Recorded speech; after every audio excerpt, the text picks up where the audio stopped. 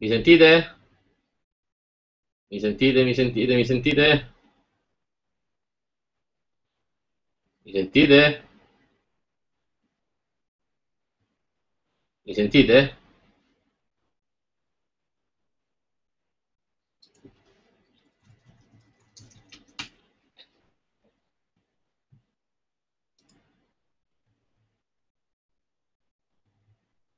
Pronto, pronto? Prova, prova, prova. Oh, ok.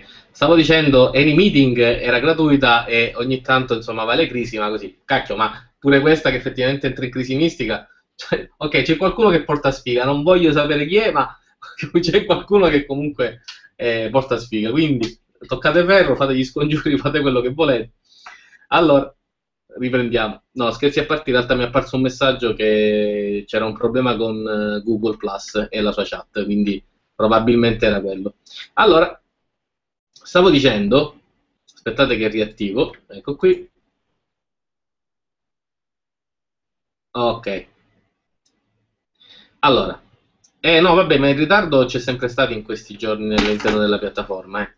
Allora, stavo dicendo che eh, in pratica a un certo punto Pinterest ci ha permesso di caricare delle GIF e guardate che cosa ha fatto.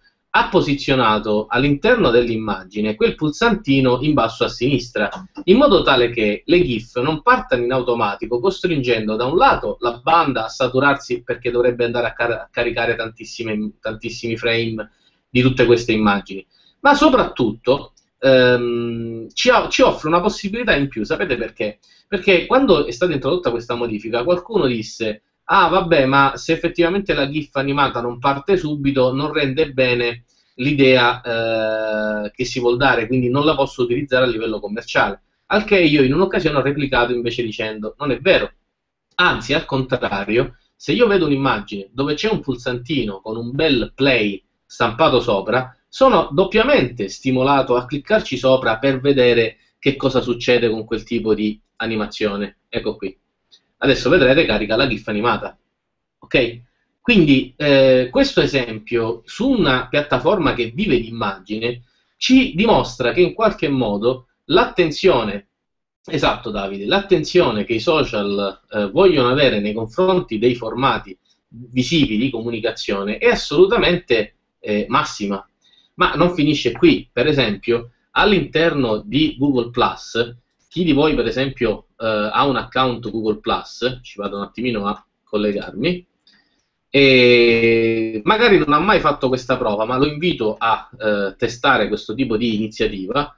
Se ad esempio io vado all'interno del mio profilo o all'interno della sezione foto, va, andiamo direttamente all'interno della sezione foto, e vado a cliccare per esempio un insieme di fotografie, automaticamente succederà che all'interno praticamente della piattaforma mi verrà data la possibilità di creare anche una piccola animazione.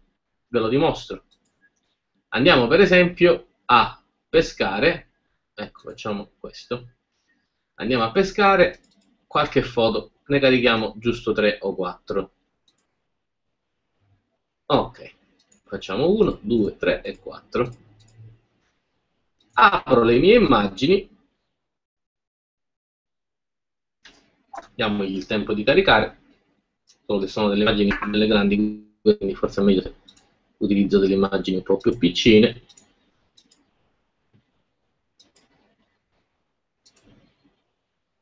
Ecco prendiamo una, due, tre e quattro. Adesso non so che immagini saranno, ma sono comunque quelle di archivio. Mi sentite?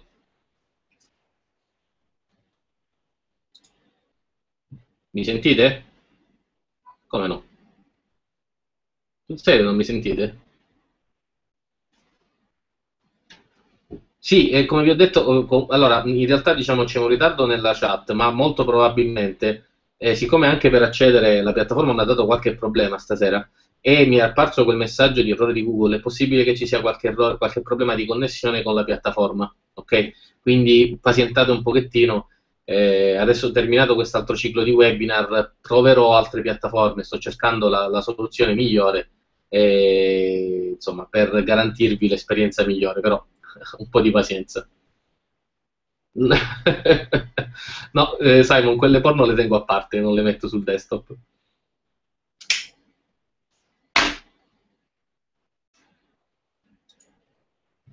Allora, nel momento in cui praticamente vado per esempio a, diciamo, sviluppare questo genere di, eh, diciamo, di eh, caricamento, ovviamente le posso aggiungere per esempio all'album faccio test webinar online, webinar live. Ecco fatto. Sapete che comunque abbiamo tutti i vari strumenti di eh, Google Plus. Ecco fatto. In questo momento comunque io praticamente ho generato eh, all'interno praticamente del mio canale eh, esagerato un hard disk, saranno al massimo una ventina di giga, non c'è bisogno di un hard disk. Gallery, prova. Andiamo, facciamo pubblico, condividi. Eccolo qui. A questo punto, all'interno praticamente del vostro canale, all'interno del vostro canale, potete addirittura andare da un lato a ottimizzare le immagini. Ricordatevi sempre che quando caricate delle immagini su Google Plus, queste subiscono alle volte una modifica e nel vostro pannello di controllo, quello dedicato alle opzioni del vostro account, ehm, di solito praticamente c'è un'opzione che eh, vincola l'attivazione di questo filtro. È un filtro che ogni tanto veramente trasforma le foto e le peggiora notevolmente. Io l'ho impostato come perennemente in off, però ogni volta che carico un'immagine puntualmente mi viene eh, ad essere modificata, quindi probabilmente è una funzione insomma, che ancora devono migliorare. Però in generale ricordatevi che quando caricate un'immagine su Google Plus vi conviene eventualmente disabilitare il filtro di correzione automatico. Ok? Poi dicevo, a questo punto, se io voglio, posso andare eventualmente a creare uno slideshow. Grazie a questo sistema, in sostanza, non dico che ho creato una GIF animata, però il concetto di animazione all'interno praticamente della mia scena comincia a prendere forma, ok? Che sostanzialmente poi può essere convertito all'interno dell'esperienza Ehm, diciamo della, della, nostra comunque presenza dentro Google Plus eh, in maniera anche abbastanza differente.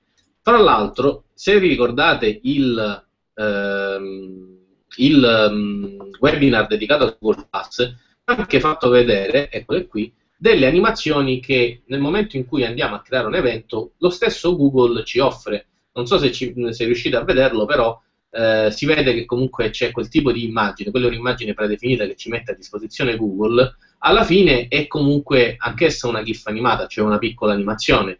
E come ricorda, ricordava anche Cosimo prima, nel momento in cui cominciano ovviamente ad arrivare anche nuove tecnologie di script, nuovi diciamo, contenuti di vario tipo, è normale che effettivamente, nuove scusami, tecnologie dedicate all'animazione, è normale che anche questo genere comunque di eh, diciamo, di piattaforme social ne subiscano l'influenza.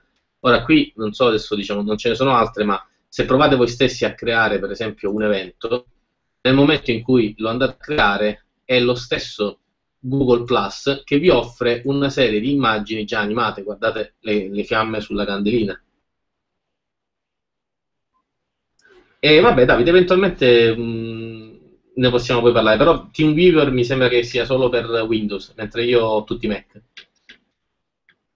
Lo conosco e lo utilizzo per fare assistenza a distanza in remoto, però vabbè, comunque di questo poi magari ne parliamo dopo, è inutile stare qui a parlarne. Ti assicuro che ne ho provate tantissime e non è solo una questione comunque di piattaforma, ma anche diciamo in qualche modo di, eh, di avere degli strumenti idonei e adatti diciamo, al contesto. Ma chiudiamo qui la, la come si dice, la parentesi. Torniamo invece a noi. Ok, quindi stavo dicendo, eh, per fare diciamo, il assunto di tutto ciò che ho, ho appena finito di dire, scopriamo quindi che all'interno dei social comunque gli utenti amano comunicare attraverso le immagini e amano sempre di più comunicare attraverso i video. Non scordate che Facebook, per esempio, eh, ha lanciato anche lui di recente la possibilità praticamente di caricare dei video che partono in autoplay. Questo soprattutto perché effettivamente nel momento in cui boicotta, tra virgolette, i link di YouTube, in uscita evidentemente ci deve dare qualche strumento in più, che poi servirà a Facebook per battere cassa in altri modi, è normale che sia così. Però il succo del discorso è che se parliamo per esempio di Cinemagraph e microvideo, ci accorgiamo come gli utenti da un lato e il web dall'altro eh, si scambino botta e risposta in, nel tentativo di migliorare ehm, la comunicazione di cui si dotano proprio attraverso questi strumenti. Per microvideo eh, si intende poi, visto che abbiamo definito Cinemagraph, eh, ah, tra parentesi, Cinemagraph, lo stesso termine, ci ricorda anche il fatto che questo genere di animazione nacque proprio eh, grazie ad una serie di utenti che utilizzarono, iniziarono a utilizzare Tumblr in una maniera molto molto particolare. Vi faccio vedere per esempio uno dei miei canali preferiti di Tumblr che in pratica ha trasformato questo genere nel suo status symbol, un, eh, diciamo, un'idea creativa che fra l'altro è stata poi ripresa in 100 modi diversi anche da tanti altri utenti. Ora, ovviamente, non c'è niente che ha fatto, ha cancellato il canale. Uh, ha cancellato, cioè, non c'è più niente. O sono io che carico male o lui... No, ma non c'è proprio nulla. Ok, l'autore in questione, giusto per farmi uno sgarbo, ha cancellato praticamente il suo canale. Questo era un canale storico, non so se adesso sta, stia ricaricando... No, allora no, si è inventato qualche cosa di particolare perché, appunto... Uh, guarda che cosa carina. che, che, bravo. Ok, quest'autore praticamente, come vedete, si è inventato questa figata praticamente di eh, creare questa pagina, ha trasformato il suo canale e per farsi ricordare, evidentemente avrà qualcosa in mente, si è inventato questa cosa. Vabbè, andiamo a vederla, diciamo, semplicemente con Google. Scriviamo Cinema Graph. Vuoi il link, eh, Simon? Eccolo qui, ve lo metto in chat. Questo era quel canale che abbiamo visto un paio di volte. Allora, ecco, una, permettetemi un altro esempio eh, del fatto che comunque questo tipo di strumento, eh, anzi questo tipo di tecnologia, eh, venga sempre di più assorbito dalla rete. Guardate un po', per esempio, se io vado all'interno di Google Immagini e cerco il termine Cinemagraph, mi ritrovo nei risultati di ricerca non solo le immagini, ma anche le relative animazioni che ci permettono di godere del formato prima ancora di, eh, diciamo di eh, osservarlo nella pagina relativa. Ecco, quella che avete davanti è una tipica cinemagraph. Eh, dicevo, nasce dal mondo del cinema, per questo vi avevo linkato quel canale, eh, perché semplicemente gli utenti, eh, a un certo punto, grazie a Tumblr, che è un social che ha sempre accettato qualunque tipo di formato immagine, ma di qualunque genere, anche video, audio, eccetera, eh, hanno iniziato a ritagliare porzioncine di film e in pratica creavano dei loop cinematografici molto sfiziosi, simili all'immagine che avete qui davanti, cioè si prendeva per esempio una scena di un film e si animava un solo particolare bloccando tutto il resto. Eh, se per esempio andiamo a cercare Cinemagraph Cinema, vediamo se troviamo qualche scena, ecco, questa per esempio del, eccolo qui, eh, del film ehm, il, come, oddio come cacchio si chiama? Eh, il quinto senso? No non è il quinto senso eh, mi sfugge adesso il termine ed è il nome ed è pure uno dei miei film preferiti. Comunque tanto per farvi capire la, l'immagine che vede di fronte agli occhi il quinto elemento ecco. Ehm, dicevo l'immagine che avete davanti agli occhi corrisponde al classico del genere all'interno del quale prendiamo una scena catartica, particolare, emozionante, significativa di un film, la rielaboriamo con Photoshop o con altri strumenti, io ve ne segnalerò diversi, e la trasformiamo in un'animazione in loop continuo, che come vedete in pratica eh, di solito si genera grazie al semplice utilizzo, sì certo Marco, eh, grazie diciamo al semplice utilizzo eh, di eh, un particolare movimento, mentre tutto il resto intorno resta assolutamente fermo. Ok? Poi da qui, in realtà, da questo genere di, eh, di approccio, cioè dall'uso di scene dei, dei, film, piano piano si è andati ben oltre, al punto tale che, come dicevo prima, eh, abbiamo iniziato a vedere autori, artisti e altri soggetti che trasformavano questo semplice eh, strumento in un format di comunicazione piuttosto interessante. Per esempio, uno degli studios che ha fatto un po' di fortuna grazie a questo genere di formato, è lo studio che ho citato più volte, N Street Studio. Vi metto il link in chat. Ecco qui.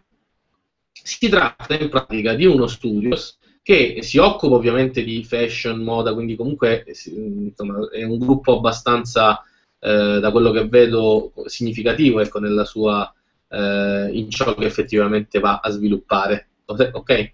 E, quindi lavora nell'ambito del fashion editoriale e così via. Se andiamo a vedere i loro lavori eh, nell'ambito del cinemagraph, ci sono delle foto che sono assolutamente di valore, molto molto carine, ben costruite Stasera spiegherò anche quali sono i trucchi del mestiere per eventualmente produrre una cinemagraph, non solo utilizzando Photoshop o altri software, ma partendo proprio dallo scatto. E solitamente quando per esempio noi produciamo delle cinemagraph, se abbiamo la possibilità, cerchiamo di organizzarci lo scatto al meglio. Però ci sono tutta una serie di cose che bisogna conoscere per capire anche come predisporre questo scatto, ok? Ora, tornando un attimino a bomba, così concludiamo e passiamo alla pratica. Ehm, il webinar però si concentra anche sul dicitura microvideo. Di che cosa parliamo quando eh, definiamo il termine microvideo? Mi riferisco a quella logica che se da un lato spinge gli utenti a condividere fotografie, dall'altro cerca di assegnare a quelle stesse fotografie, si cerca di assegnare a quelle stesse fotografie un appeal differente. Un esempio pratico che già vi ho fatto in passato e che tra poco vi mostrerò all'opera. Se devo ad esempio eh, comunicare eh, una linea di abbigliamento, posso farlo utilizzando le foto del modello oppure mi creo un micro video utilizzando la foto di quel modello. Il problema qual è? Che noi abbiamo solo delle foto di questo benedetto modello, non abbiamo dei video. Quindi come lo rendiamo questa foto un video? La dobbiamo andare ad animare. Ma quando parliamo di animare una foto, non ci riferiamo a cominciare a costruire delle animazioni, fare lo zoom, effetti di eh, fade in e fade out, ci rivolgiamo invece ad una logica costruttiva molto diversa che ci permette di prendere un video eh, già pronto di una durata molto molto eh, bassa da applicare grazie a Photoshop sulla nostra immagine. Ve ne faccio vedere una per capirci.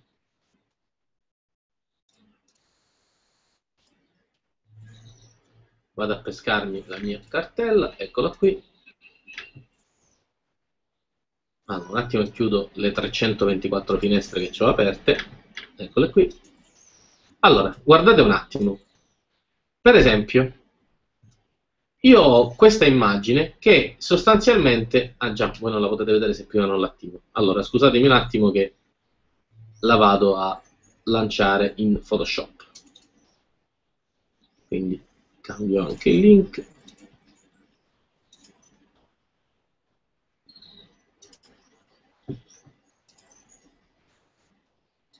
ecco qui. Allora guardate un attimo.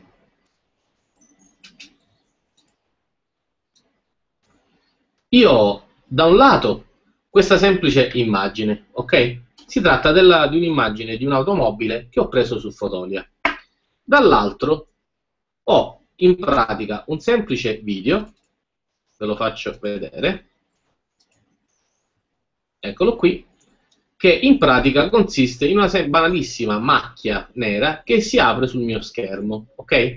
Ora, supponendo che io ad esempio sia il produttore di quell'automobile, il problema di fondo per me sarà quello di riuscire a comunicare all'interno dei canali social, dentro un sito o ovunque mi pare e piace, il concetto, per esempio, che questa macchina ha grinta, deve avere visibilità, deve essere apprezzata, deve avere particolarità, insomma, tutti i classici concetti che ci spingono a dare visibilità ad un prodotto o ad un oggetto come un'automobile. Se pubblico la semplice foto, sicuramente otterrò un certo appeal, soprattutto se la macchina è bella. Ma nel momento in cui riesco invece a creare i cosiddetti micro video che posso esportare in un formato video, poi vedremo da ottimizzare come, o in una GIF animata, il risultato finale sarà questo.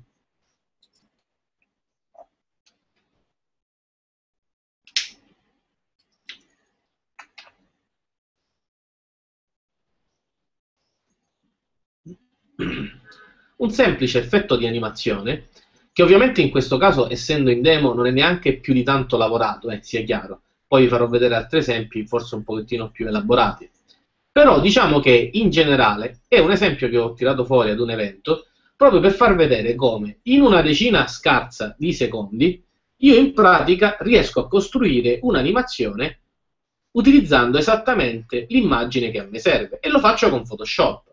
La bontà dello strumento non sta tanto nel video finale, non è quello, perché è chiaro, chiunque conosca un programma di video editing può, fa- può tirare fuori delle perle mostruosamente belle. Questo strumento però ci segue nelle fasi della comunicazione online perché è un qualcosa che possiamo sviluppare nell'arco di 10-20 minuti, ok? Cioè, quando proprio effettivamente abbiamo tante immagini di una collezione, ripensate al modello della collezione di abbigliamento di cui vi parlavo prima, quando abbiamo per esempio 50 foto, non possiamo creare con 50 foto 50 microvideo fatti bene, ci perderemmo giornate intere. D'altro canto non possiamo neanche creare uno o due video eh, collezioni e basta, cioè i classici slideshow all'interno dei canali social, perché comunque fatto il primo, fatto il secondo, che facciamo? Li ripetiamo all'infinito? Con questa tecnica io Innanzitutto soddisfo la necessità degli utenti di trovarsi davanti un elemento che sia video e rapido. Quindi non parliamo di un video di un minuto, nemmeno di uno di 60 secondi. Parliamo di un'animazione che dura quei 3, 4, 5 secondi. Questa è una demo, ripeto, quindi è molto, molto, cioè, come vedete, comunque costruita ai fini di un'esercitazione.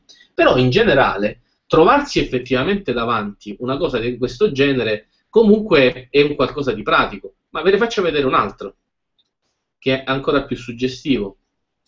Mi pare che sia questo. Sì, allora guardate, questa è un'elaborazione che in pratica, si vede? Sì, vi ingrandisco un attimino l'immagine. Perché? Che? Si è interrotto, aspettate che riclicco. Ok, guardate, questa è un'elaborazione che ho fatto qualche tempo fa, insomma, all'interno di un workshop sul matte painting, ok? Bene, seguitemi un secondo. Se io la voglio pubblicare online su Behance Network o altrove, posso pubblicare l'immagine. L'immagine può piacere, può non piacere, è indifferente.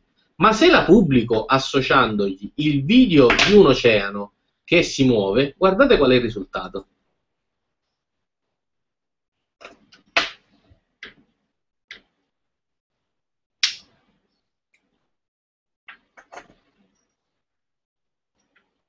Lo ricordavo più veloce la marea, comunque vabbè.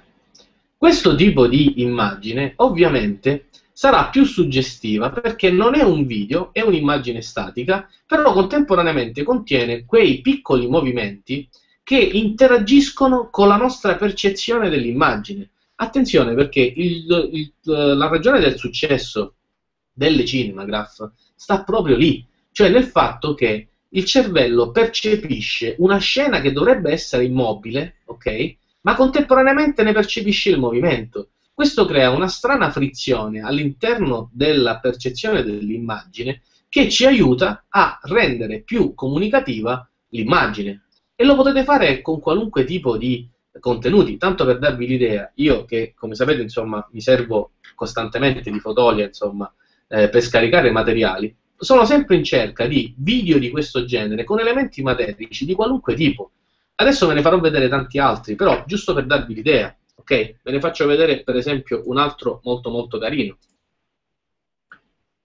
Vi faccio vedere per esempio che cosa significa riuscire per esempio a produrre una piccola animazione per rendere la foto per l'appunto di una modella, di una semplice modella, un qualcosa di molto molto più interessante. Allora, secondo solo che la carico.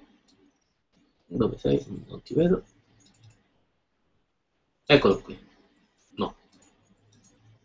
Che ho sbagliato cartella. Dove cavolo l'ho messo? Un attimo di... Ah, eccola qua. Ok, non mi ricordavo più in quale cartella l'avevo depositata. Guardate un attimo questa immagine.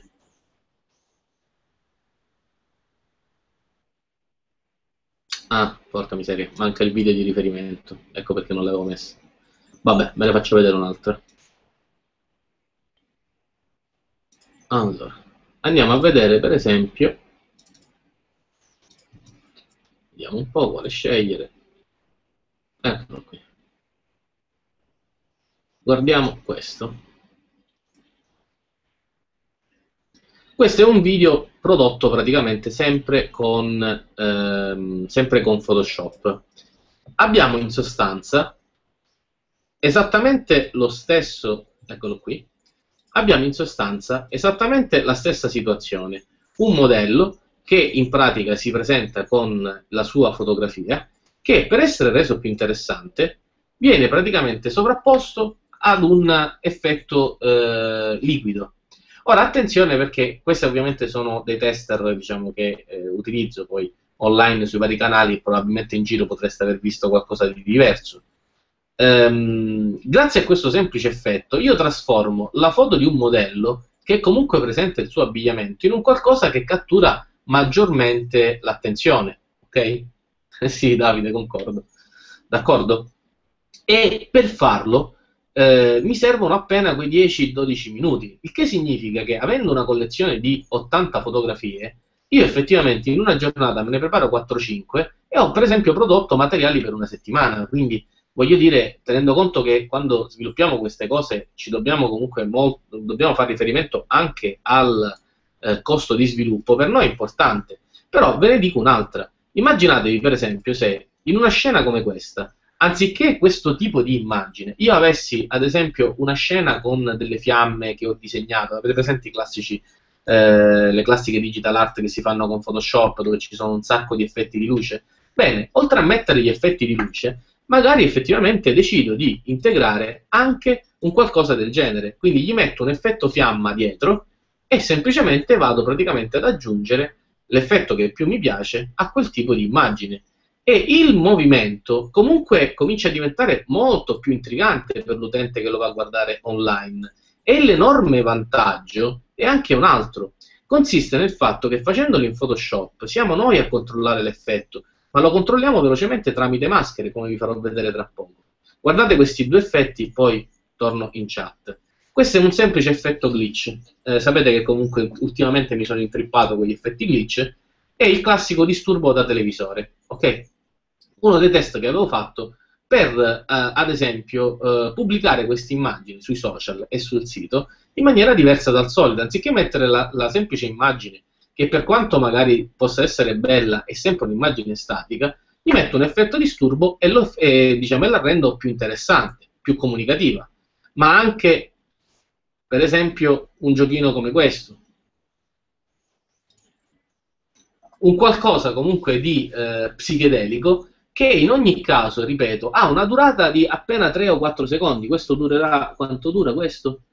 Ehm dovrebbe durare credo circa due secondi e mezzo, no, 4 secondi e mezzo, una cosa del genere. Ok?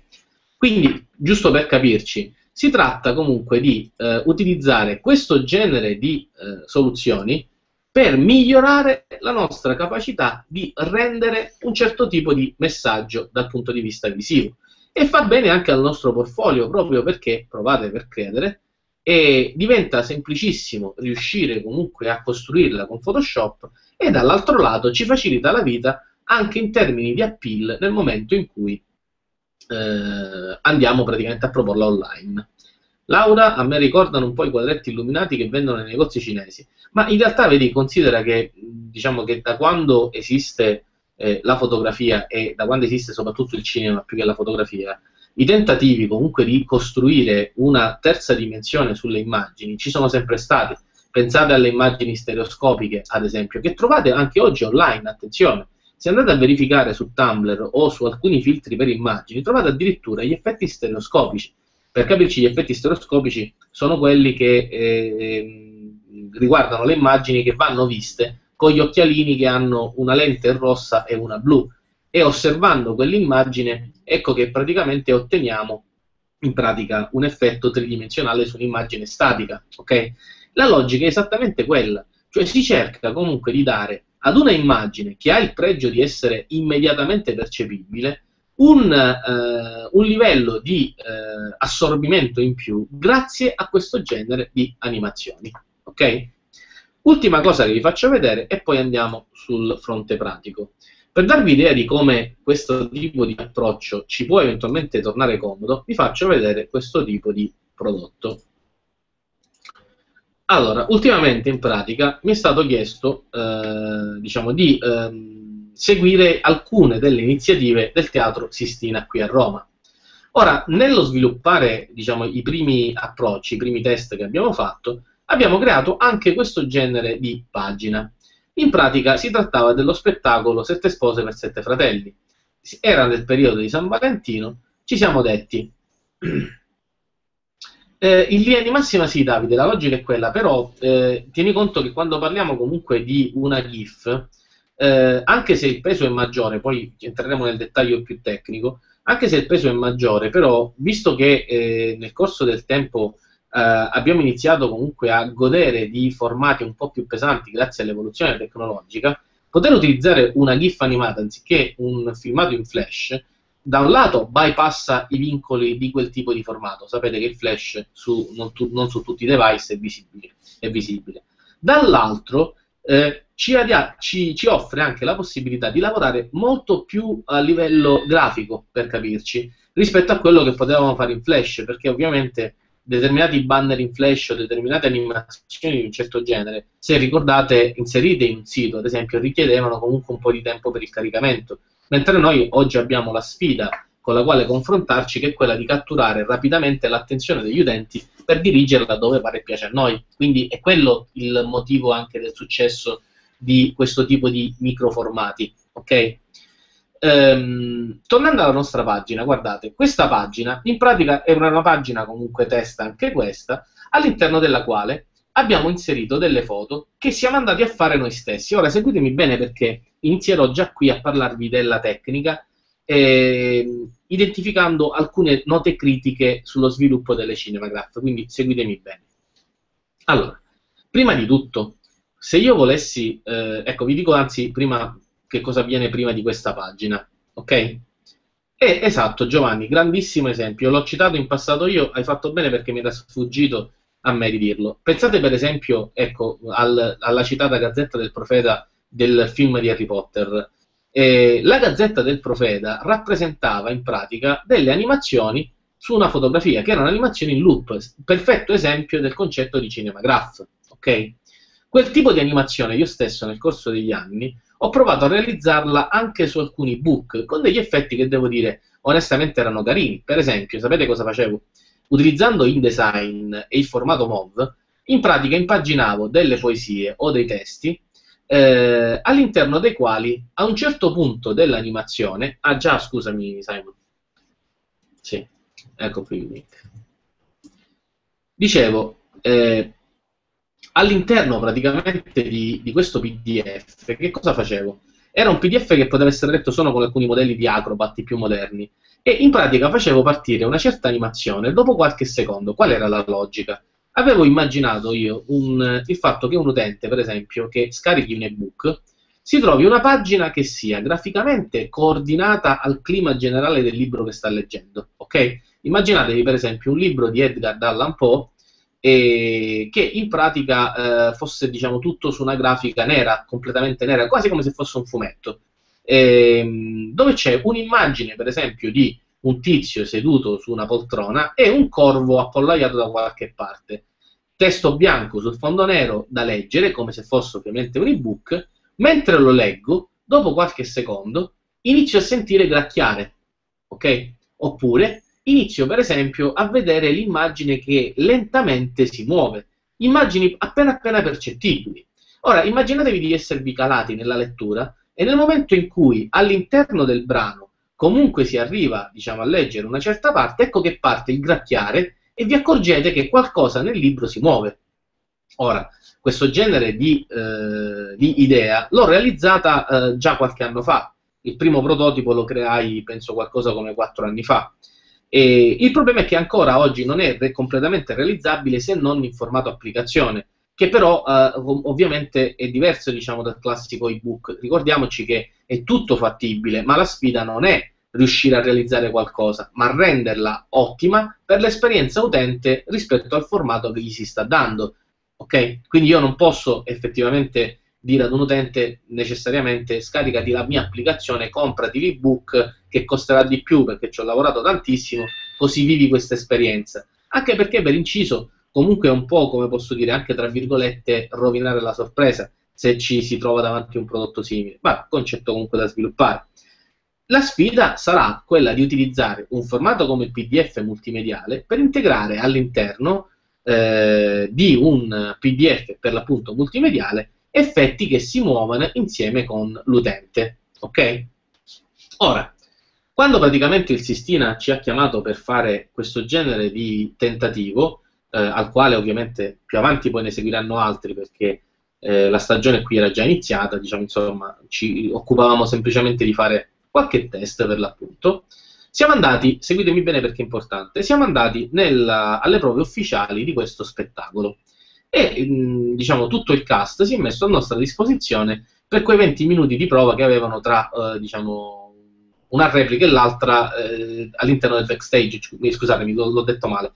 Ci hanno dato comunque, ci, ci sono messi a nostra disposizione e, e, all'interno di questa finestra di 20 minuti che ci è stata data, tra una prova e l'altra, alla fine praticamente abbiamo avuto la possibilità di realizzare le nostre cinemagraph. Ora, se la devo realizzare io, mi devo ricordare, segnatevelo questo passaggio, che per realizzare una buona cinemagraph, quello che devo fare è scattare una serie di fotografie o un video con un cavalletto.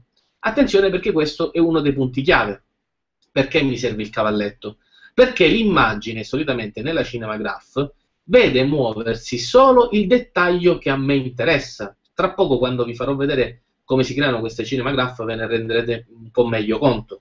Il che significa che se la mia telecamera è in movimento o se la macchina che scatta tanti scatti, la mia reflex che scatta tanti scatti uno di seguito all'altro si muove sul palmo della mia mano, eh, creare l'animazione sarà molto più complesso. Non sarà necessariamente difficile, eh, non è vincolante in senso stretto, però mi devo cercare, devo cercare anche di aiutarmi. Quindi prima cosa, prima cosa da ricordare, se devo creare io la mia cinemagraph, mi serve necessariamente un treppiedi. Secondo appunto, e questo è stato molto vincolante, scorrendo la pagina, come si è già accorto Gabriele, trovate sei foto grandi. Vi faccio notare che se cliccate sulle foto grandi, in pratica io ho impostato l'animazione di queste cinemagraph in modo tale che io mi metta ad osservare per esempio una fotografia, solo che a un certo punto un particolare si muove. Ok? Per esempio, cliccate sulla terza foto, quella praticamente di gruppo, in quel momento si stava facendo una foto che serviva a livello promozionale. Noi stavamo girando il video quando in alto a sinistra il chitarrista prende il telefonino che aveva lì e fa una foto a sua volta. Ci è rimasta in telecamera questa scena e appena l'ho vista ho detto cacchio, è perfetta per una cinemagraph, ok? E in effetti che cosa ho fatto? Ho convertito il video nel formato che desideravo e l'ho trasformata in questa cinemagraph. Ok? Ehm, c'è però un problema di fondo. Il problema di fondo qual è? Le cinemagraph, seguitemi bene perché qui entriamo un po' sul tecnico, le cinemagraph eh, sono realizzate normalmente in formato GIF. Il problema del formato GIF è che non è un formato altamente qualitativo. Noterete infatti che le immagini sono leggermente rovinate è una costante di tutte le, eh, di tutte, diciamo, le cinemagraph che trovate online. Se provate a ingrandirle, vi accorgerete che le tinte cromatiche non sono, eh, eh, come posso dire, eleganti, smussate, ma sono tutte leggermente rovinate. Questo perché il formato GIF ha dei limiti tipici proprio appunto del, eh, della sua tecnologia. Questo significa che nel momento in cui scatto una foto, devo puntare, e vi insegnerò qualche trucco anche in questo senso, devo puntare ad ottenere un'immagine all'interno della quale non ci siano eh, eccessive variazioni di colore. La foto che avete visto, questa proprio corale, era tra le foto più colorate in assoluto. E il problema qual era? Che nel momento in cui andavo ad esportare in pratica la mia GIF, la GIF si realizzava, però succedeva che in pratica pesava l'ira di Dio e io non posso far caricare un qualcosa di eccessivamente pesante all'utente. Mi devo ricordare che eh, ho davanti comunque una persona che sta navigando tranquillamente per i fatti suoi sul web. Provate ad esempio a salvare in locale le GIF animate che trovate su Tumblr, scoprirete che spesso e volentieri, quando si rispetta il formato di 500-600 pixel di lato, il loro peso oscilla tra gli 800k e il mega 4, quindi un bel po' pesante, ok? Però, dicevo, è una, una conseguenza del tipo di formato. Solo che più colori ho, più eh, difficoltà avrò a comprimere l'immagine e io devo cercare una via di mezzo. Ora, in questo caso, noi purtroppo, e per fortuna, perché ovviamente la bellezza dello spettacolo stava anche nella varietà cromatica che è stata scelta, uno spettacolo veramente bello. Il problema è che avevamo veramente tantissimi colori, cioè guardate la foto di gruppo, guardate quanti colori ci sono, comprimerla e ottimizzarla in formato GIF è stato veramente distruttivo, ok? Ecco perché, per esempio, in altre scene, come quella, diciamo, del eh, protagonista e della protagonista, noterete che in pratica eh, c'è una sorta di alone cromatico proprio sul personaggio, ok? Ehm, mentre invece il resto è in bianco e nero, perché come vi dicevo nel fare i vari tentativi, i vari test, abbiamo comunque voluto provare anche questo genere di trucchetto grazie alle semplici maschere di Photoshop, ok? Ora, vi ho raccontato il backstage. Nello sviluppare quindi tutto questo lavoro ci siamo serviti in realtà di entrambe le soluzioni, e cioè, visto che era una pagina test, quindi la prima del suo genere, siamo andati in pratica a creare sia un microvideo sia delle cinemagraph. Vediamo un attimino come funziona il microvideo. Il microvideo in questo caso è stato caricato su YouTube, formato, eh, scusatemi, piattaforma ideale all'interno della quale andare a depositare i nostri microvideo. Ovviamente, visto così, il video non è granché. Perché? Perché doveva muoversi in loop. Io ho utilizzato i settaggi che lo stesso YouTube ci offre, vi passerò un po' di link anche in questo senso, compreso uno strumento automatico che setta i parametri per voi, eh, però il loop non funzionava, perché in quel momento in realtà diciamo che comunque mh, insomma, mi sono accorto che a distanza di, eh, di, qualche tempo poi era stato, insomma, erano cambiati alcuni codici che c'erano all'interno, quindi probabilmente era per questo che non funzionava. E, però vi faccio notare che da questa immagine, per esempio, non trovate la pulsantiera, non ci sono i video correlati. Ora, se avesse funzionato il loop, io in pratica mi sarei trovato nella possibilità di schiacciare play e vedere in pratica una cinemagraph di altro tipo in movimento, considerando che qui dentro avrei potuto inserirgli qualunque tipo di microvideo, ok? Come quello che vi ho fatto prima di vedere, diciamo, della città uh, sott'acqua, ok? Quindi diventa già molto più interessante poterlo inglobare in una pagina nel momento in cui correttamente riusciamo ad eliminare tutte le informazioni che stanno intorno al video lasciando esclusivamente l'immagine e il loop, scusatemi, il video e il loop eh, della sua animazione. Poi ovviamente nel realizzare le cinemagraph mi sono servito di qualche trucco del mestiere e come eh, potete immaginare, anziché creare una cinemagraph che fin dall'inizio è in loop continuo, ho voluto eh, innescare un'animazione che partisse qualche secondo dopo, esattamente 2,3 secondi dopo, aver visto praticamente l'immagine, in modo da restare più sorpresi Ora capirete bene che se arriva uno spettacolo online che vi propone decine e decine di foto, l'undice, per esempio, la ventunesima foto, la trentunesima foto, non l'andrete a vedere perché del resto che, che ve ne frega di rivedere lo stesso formato. Ma se trovo un'immagine di questo genere che si anima, quantomeno sorrido. Io immagino che molti di voi nel vedere la prima volta una di queste animazioni, quelle che vi ho fatto vedere adesso, comunque ha eh, sorriso un pochettino, ha detto, uh, guarda che figo, simpatico, qualcosa comunque l'avrà pensato tra sé e sé. E nel momento in cui un utente si ferma e dice, uh, simpatico, fammelo rivedere anche solo la seconda volta, ecco che si innesca il successo di questo genere di formato. Ok? Ci siamo?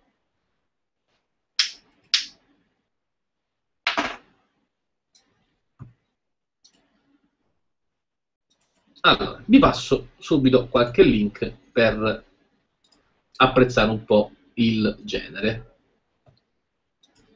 Ah, vi volevo far vedere anche un'altra cosa. Permettetevi una piccola parentesi perché ha a che fare proprio con Cinemagraph. Probabilmente l'avete già visto in altri seminari, però ve lo ripropongo stasera. Guardate una prima delle Cinemagraph. Eh, vi ho detto poco fa che le Cinemagraph devono il loro nome proprio al mondo del cinema. Ok? Lo devono al mondo del cinema perché nel corso degli anni, in pratica, successe che eh, eh, chi sviluppava per esempio un nuovo titolo da destinare al, al cinema eh, ha imparato nel corso del tempo a produrre tutta una serie di eh, locandine alternative che servivano ad accompagnare la fase promozionale. A un certo punto però, visto che sul web approdavano decine e decine di locandine, automaticamente si è iniziato comunque a cercare un qualcosa di differente, aspettate che abbasso l'audio, eccolo qui, un qualcosa di differente che fosse in grado di aiutarci. La locandina animata di Conan che vedete è solo una delle tante locandine animate che sono delle, appunto delle cinemagraph che ci vengono proposte sul web di tanto in tanto e dobbiamo ammetterlo. Una foto statica di Conan su una montagna di teschi non avrà mai lo stesso fascino di quella scena che state osservando, cioè di un'animazione che funziona esattamente come vi ho detto. Questa è una cinemagraph, solo che in questo caso, essendo presente anche l'audio, avendo un formato di un certo genere, è stato montato in Flash, se non ricordo male. Sì, è stato creato in Flash. Questa stessa scena noi la potremmo proporre come microvideo caricandola su YouTube con quel meccanismo che vi ho fatto vedere prima, così da poterci mettere anche l'audio, così da poterci mettere dietro l'immagine delle nuvole praticamente che eh, all'orizzonte in time lapse si muovono, creando intorno al personaggio di Conan una piccola maschera in modo tale che l'unico elemento in movimento sia eh, il suo vestito.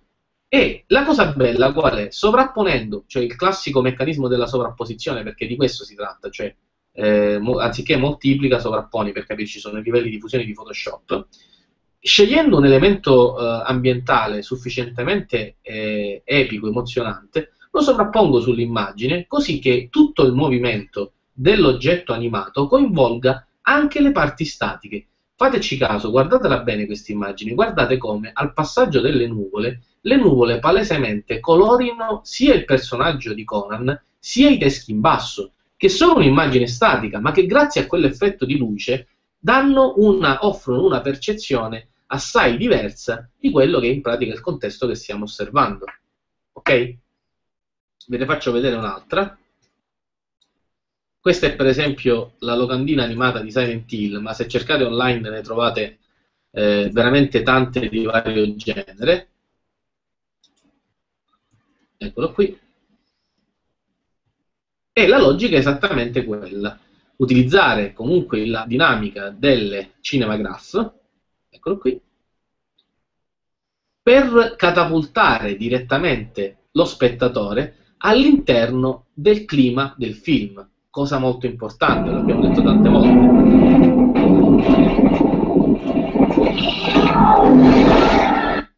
Oddio, questa in realtà, no, me la ricordavo diversa, forse ho sbagliato link.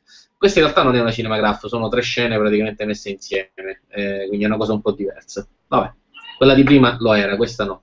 Eh, mi ricordavo in realtà un'altra locandina animata, ma evidentemente mi ricordavo male. Ok? Ma vale il concetto. D'accordo? Ok. Sì, però Davide, quella lì non è diciamo, una, una cinemagraph, è semplicemente una clip, cioè sono tre clip messe assieme. Il bello invece della cinemagraph, ecco, tanto per farvi capire la differenza, eh, una finestra come quella di Silent Hill non comunica di più di una cinemagraph, sai perché? Perché in pratica, trattandosi di tre clip, eh, tutte dicevo, trattandosi di tre clip in sequenza, in realtà il nostro cervello si, sta, si aspetta, cioè, vede quello che si aspetta, cioè tre clip una dietro l'altra, tutto qui. La cinemagraph, come dicevo prima, invece, comunica ad un livello diverso con la nostra percezione e in pratica rende nativamente più interessante quel tipo di formato. È un approccio completamente diverso. Ok?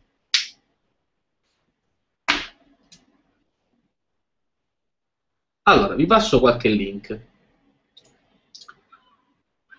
Innanzitutto, eh, per quanto riguarda YouTube, i parametri che vi servono a eh, pulire il player di YouTube li trovate praticamente tutti qui, in questo link. Eccolo qui. Dove in pratica vi viene detto come preparare eh, l'embed di un video di YouTube epurandolo di player video correlati, dandogli l'effetto loop e così via. Ok? Se però vi interessa facilitarvi ancora di più la vita perché siete poco pratici con il codice, vi segnalo quest'ottimo tool. Eccolo qua. Si chiama VTube Tool. In pratica vi faccio vedere come funziona, è molto molto carino. Vado ad attivare lo streaming eccolo qui questo tool in sostanza vi permette di andare ad indicare qual è il link del vostro video. Potete poi selezionare direttamente da queste opzioni l'autoplay se volete che il video parte in automatico, come se fosse una Cinemagraph, le dimensioni che vi interessano, addirittura il minutaggio per la partenza, cioè la prima scena voglio che parta al eh, minuto al secondo X, in modo tale che praticamente poi eh, il, ricominciando il video si veda anche la parte precedente. Posso decidere che tipo di interfaccia offrire, se scura o chiara, eh, disabilitare eventualmente le, la keyboard, eh, offrire il titolo o meno, eh, insomma, posso, diciamo, in generale, eccolo qui, trovare anche l'effetto loop, posso ottenere quello che mi interessa. E qui in basso, e non in alto, ho sbagliato prima, qui in basso, inserendo semplicemente il link di riferimento del video. Io copio quello che lo stesso autore ci offre, dopodiché gli do il mio get code o la mia preview, eccolo, e la piattaforma mi offre questo codice, eccolo, che posso eventualmente embeddare in tutti i modi che voglio. Ok? Questa cosa mi aiuta a personalizzare le caratteristiche del video anche se sono una pippa nera con l'HTML. D'accordo?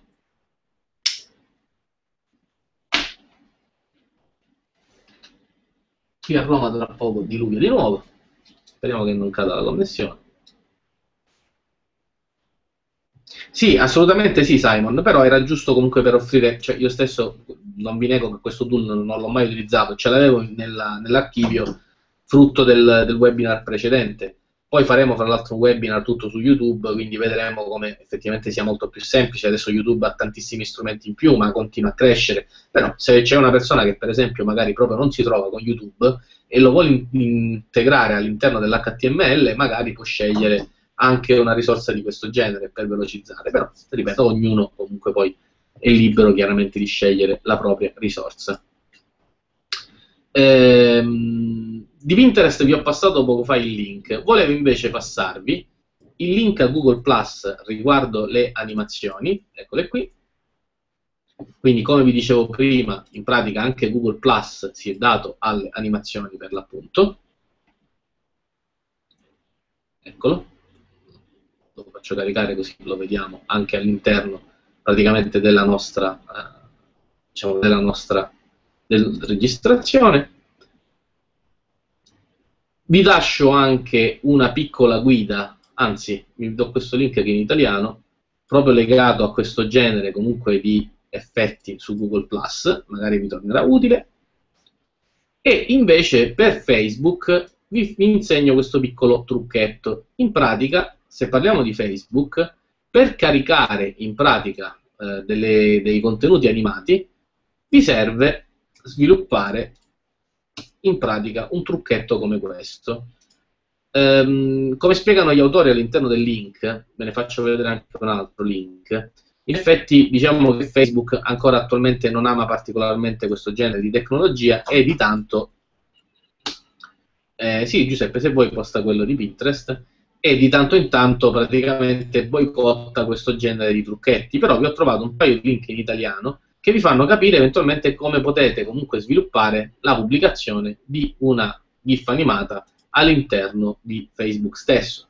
Fermo restando che però, come vi ho detto, a seconda della necessità, noi si possa comunque utilizzare altri canali come Behance o altrove per arricchire il nostro portfolio o con un normalissimo embed andare ad integrare quel tipo di animazione dentro i nostri strumenti preferiti.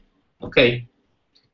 Bene, a questo punto vi lascio la possibilità di fare qualche domanda e attiviamo Photoshop. Datemi un secondo, io devo invece chiudere le imposte, se no mi allago. Un secondo solo. Quello che sentite è il cielo di Roma che bombarda. Scusatemi un secondo di pazienza.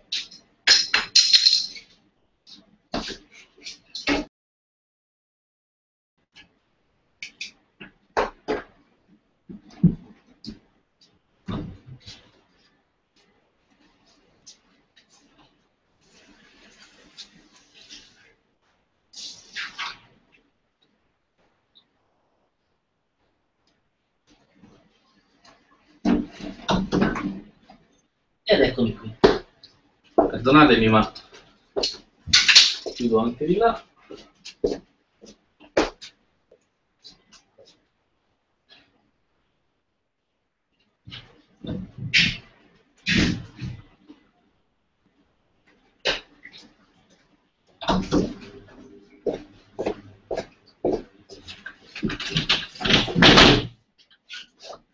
Ed ecco fatto.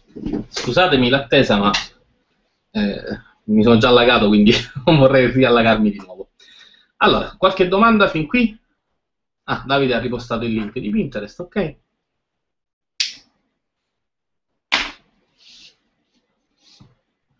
Nessuna domanda? Ok.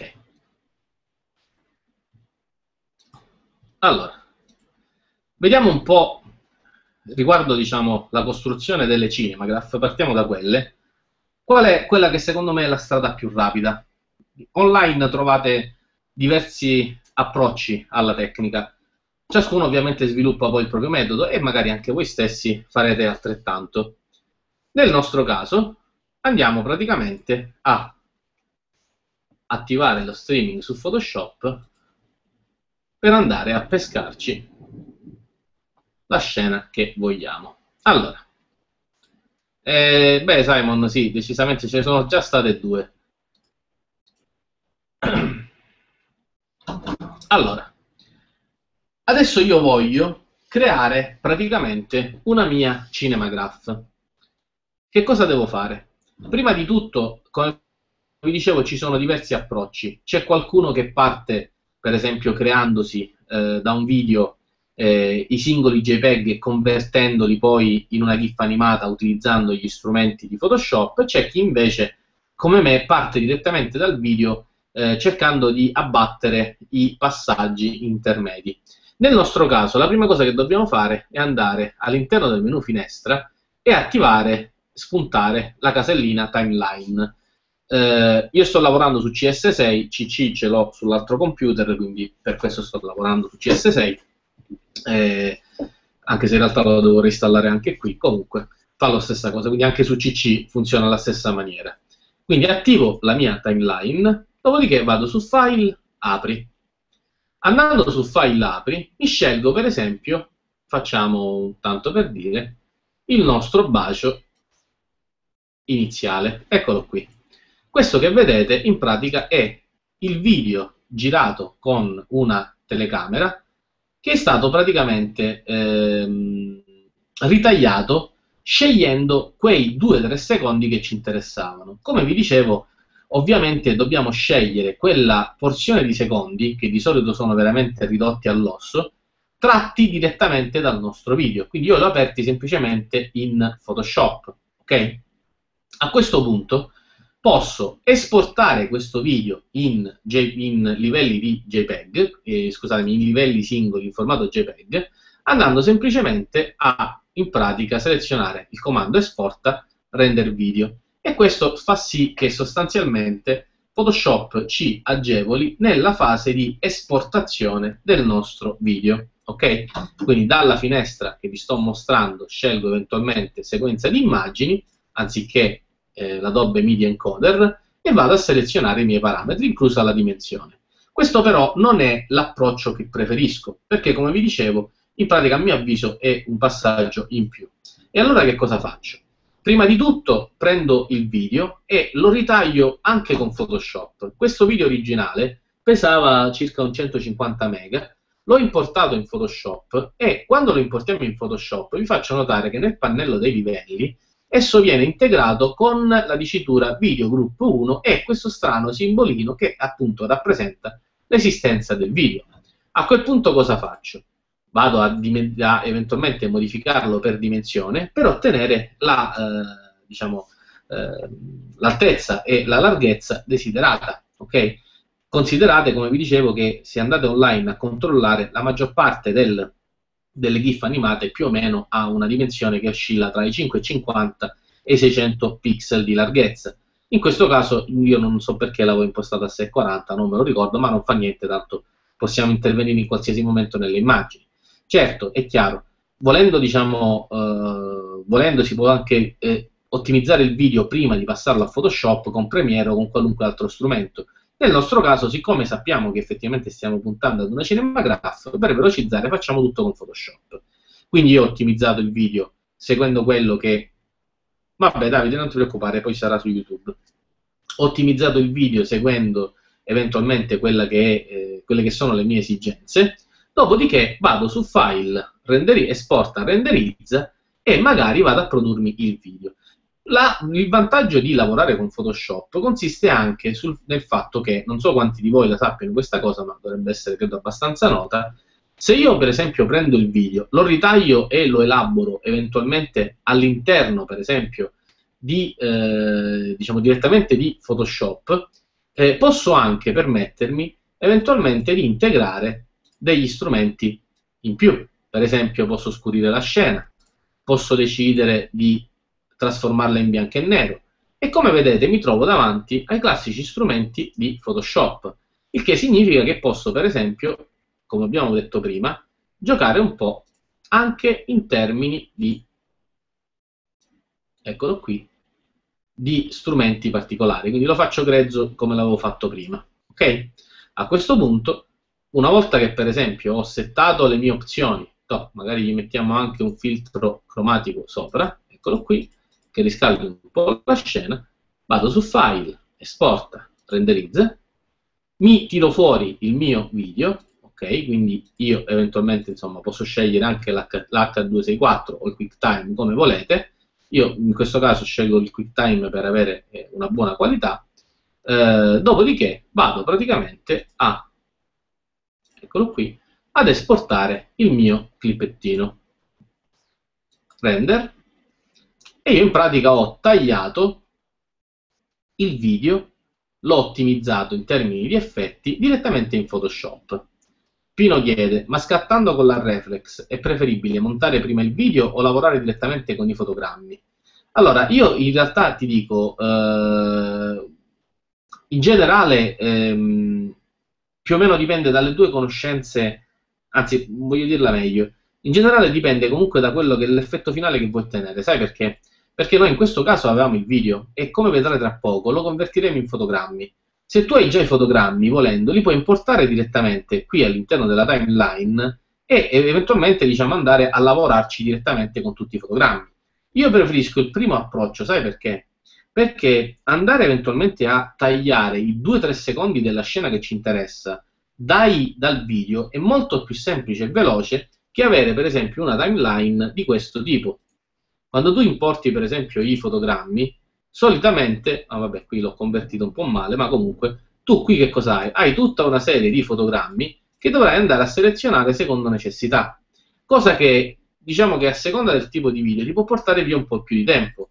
Io personalmente invece cosa faccio? Lavoro direttamente con il video che mi interessa, quindi lavoro direttamente con la modalità di editing video e eventualmente, per esempio, vado direttamente a tagliare la scena laddove mi interessa.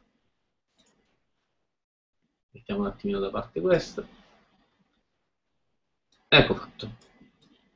In modo tale che in pratica io possa diciamo eventualmente giocarmela e gestirmela veramente come mi interessa come più mi piace. Quindi io preferisco lavorare direttamente così. Però anche con i fotogrammi Pino va benissimo. Eh, ti dico ecco ti faccio un esempio eh, un mio allievo all'interno di un workshop sai che cosa ha fatto? si è importato i diversi fotogrammi scattati con la reflex e poi in pratica eh, all'incirca una volta ogni, che ti posso dire, 5-6 fotogrammi, ad altri 5-6 fotogrammi andava ad aggiungere degli effetti praticamente di livello, una colorazione, un effetto di disturbo, qualcosa del genere, in modo tale che in pratica nell'animazione aveva un controllo più diretto del singolo fotogramma, che è un po' come, è presente la logica dei messaggi subliminali? cioè quei messaggi che eh, nel film Fight Club ci raccontavano eh, essere montati da Brad Pitt per mettere diciamo, un, eh, un, pisello bene in vista mentre si trasmetteva un film per famiglie, più o meno è quella la logica. Solo che lui ovviamente lo faceva a livello creativo, cioè andava a colorare, a dipingere, a sistemare un pochettino la scena, in modo tale che mentre tu guardavi il video, ogni tanto c'era qualche messaggio, qualche messaggio nel senso, in senso lato, cioè qualche cambiamento nella scena che tu appena appena percepivi, al fine di rendere ancora più interessante questo tipo di format. Ok? Nel nostro caso, quindi, abbiamo preso il video direttamente dalla telecamera, lo abbiamo ritagliato nei secondi che ci interessava, li abbiamo addirittura modificati un po' per quello che eventualmente era il nostro scopo e abbiamo esportato il video QuickTime. Adesso vado su File, Import, Video Frame to Layers, quindi attenzione a questo passaggio, non vado ad aprire il video, vado ad importarmelo convertendo contemporaneamente i video frame in, un, in una serie praticamente di eh, livelli. Scelgo il video che ho appena importato, eccolo qui, e sostanzialmente vado a scegliere eh, la mia fase di importazione.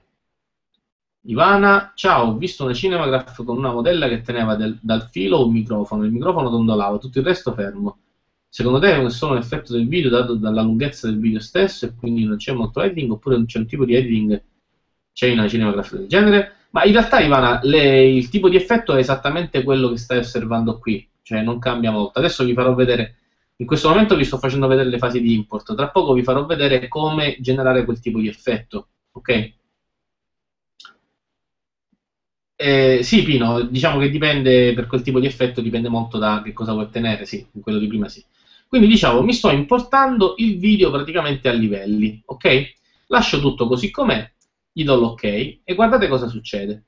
In pratica succede che automaticamente mi sono ritrovato l'intera animazione, eccola qui, in livelli ed in frame animati.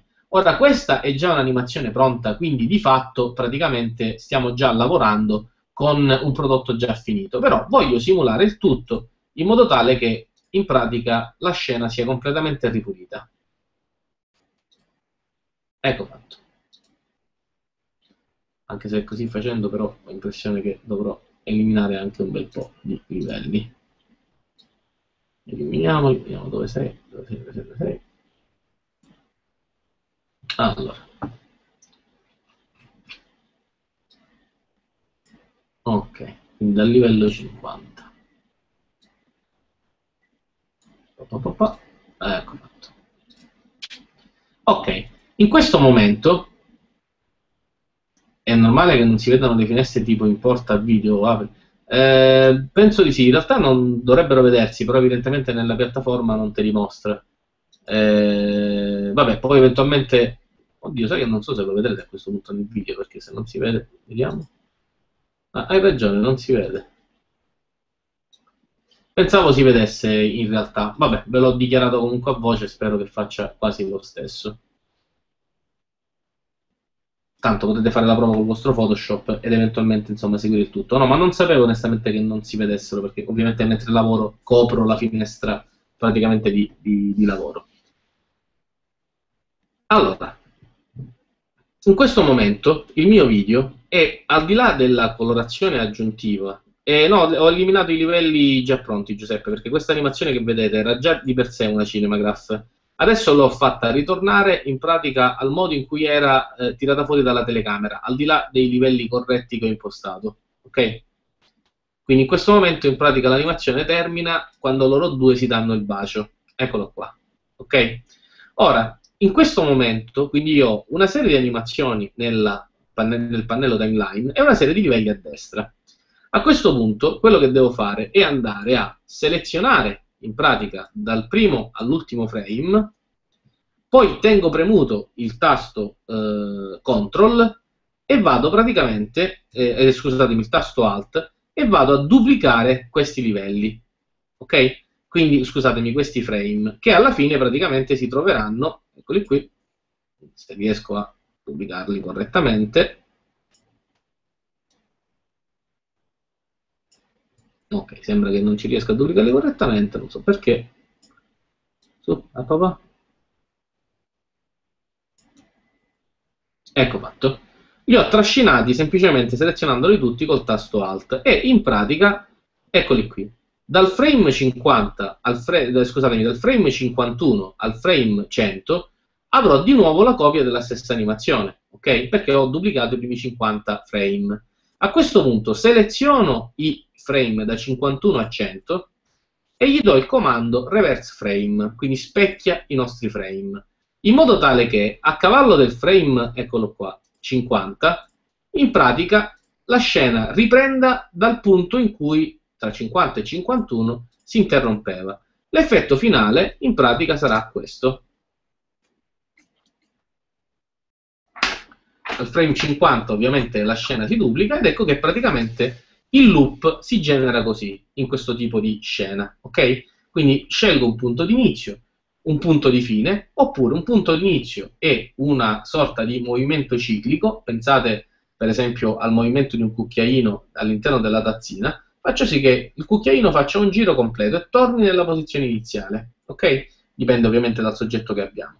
A questo punto, quindi, potenzialmente l'animazione della nostra, eh, diciamo, della nostra scena sarebbe anche già pronta, ok? Che cosa dobbiamo aggiungere prima di fare il secondo esempio? Non finisce qui la produzione della Cinematograph. Perché? Dobbiamo introdurre un concetto che si chiama sharpening o sharpening, adesso non so, eh, diciamo, insomma, la pronuncia ideale, l'ho voluto pronunciare così come è scritto, così che sia più facile. Lo sharpening in pratica eh, consiste nell'ottimizzare i valori di una certa immagine e, beh, basta che le carichi su un browser, Pino. Se le trascini su un browser le vedi animate. Allora, stavo dicendo, però aspetta, seguimi un attimo, per adesso non, vi consiglio di non fare delle prove mentre io lavoro, tanto poi c'è il video. Per adesso seguitemi perché sto cercando di spiegarvi un paio di concetti importanti. Vi dicevo, il concetto dello sharpening. In pratica eh, lo sharpening si utilizza nel momento in cui voglio modificare dei parametri di una certa foto affinché nitidezza, qualità, contrasto dei dettagli eh, ne risultino in qualche modo migliorati. Ora, online trovate anche tante azioni già pronte di Photoshop che vi aiutano a generare questo tipo di effetto. Quello che vi insegno io è il trucco più veloce. Cioè, da questa animazione, adesso la mia animazione è potenzialmente pronta. Dico potenzialmente perché ovviamente vi ricordo che potete tranquillamente, eh, per esempio, decidere di eh, far partire la vostra immagine un po' prima, un po' dopo, modificando sotto ogni frame la durata di quel singolo frame. Avete presente le foto del Sistina che vi ho fatto vedere prima?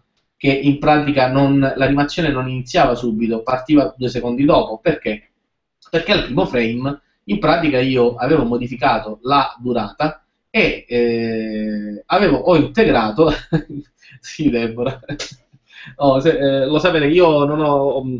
Eh, io l'inglese lo parlo benissimo, eh, il problema è, sono gli altri, cioè gli inglesi che non mi capiscono, per cui non prendetevela se hanno qualche termine. Ho sempre avuto qualche difficoltà di dialogo con l'inglese. Ehm, allora, stavo dicendo, nel momento in cui decido che l'animazione parta dopo, basta andare al di sotto del frame e modificare il parametro di riferimento. Ok? Quindi io adesso poi vi passerò anche qualche link guida in generale su come funzionano le animazioni su Adobe. Quindi adesso vi passerò poi un po' di link. Quindi per lavorare bene con le Cinemagraph dovete conoscere abbastanza bene i meccanismi dell'animazione, che tra l'altro vi possono dare anche delle belle soddisfazioni. Ora, in questo caso, quindi io ho creato un'animazione che, eh, all'interno della quale ogni frame ha la stessa durata, che sostanzialmente crea un loop, cioè la scena inizia da loro due che si tengono distanti, arrivano a baciarsi e specularmente tornano indietro. Ok?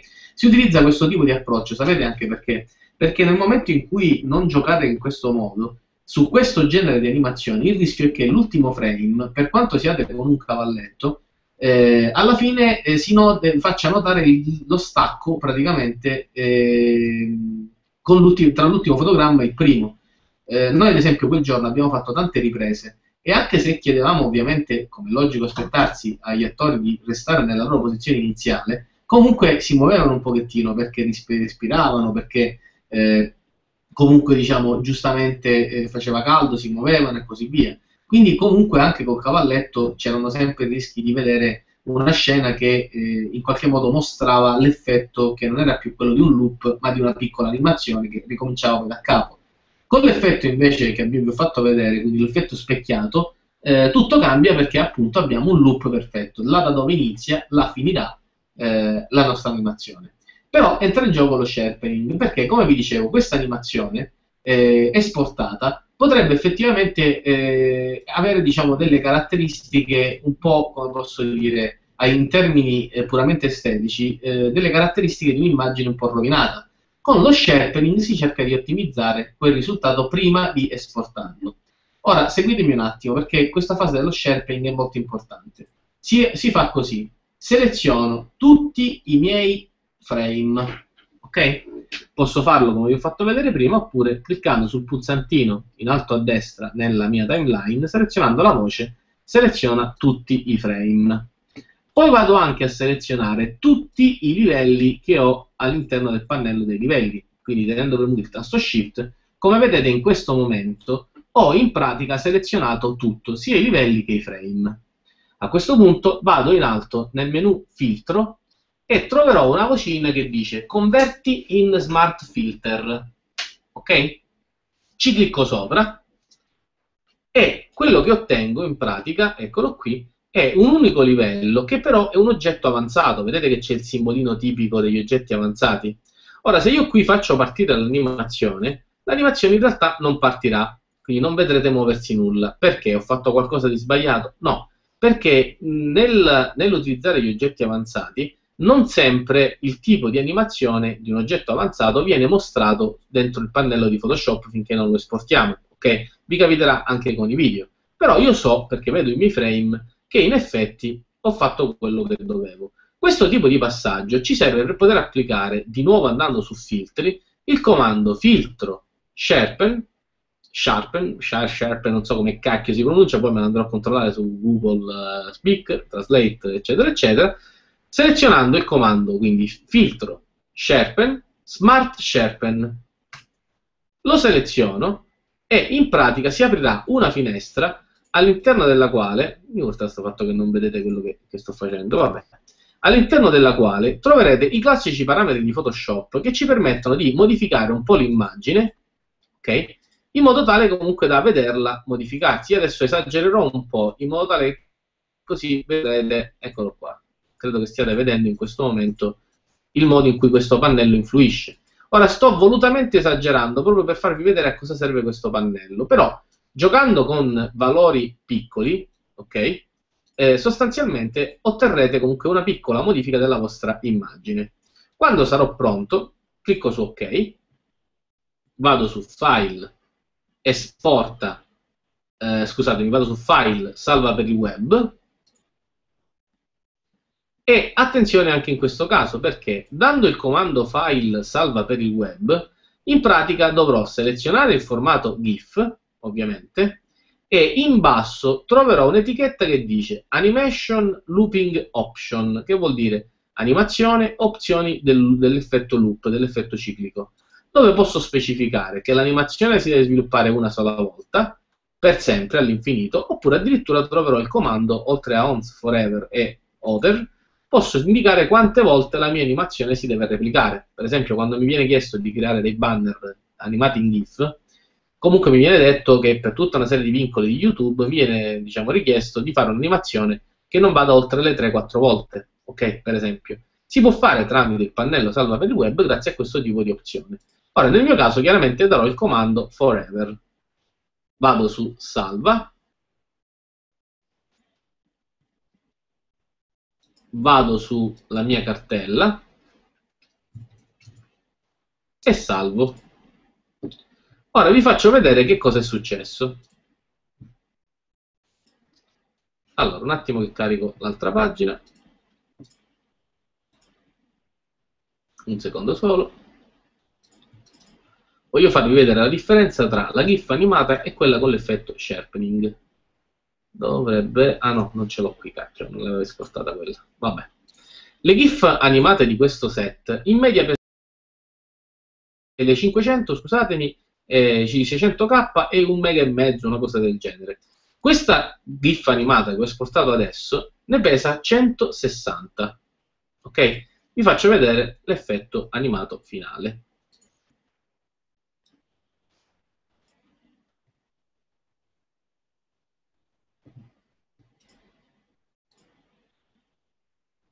Uh, credo di aver sbagliato qualcosa, che la mia, la mia GIF animata non si muove. Un attimo solo, riapro Photoshop. Che passaggio ho perso?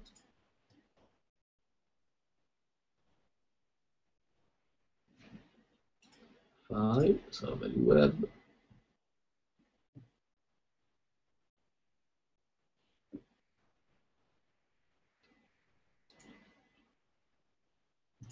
Allora, un attimo di pazienza.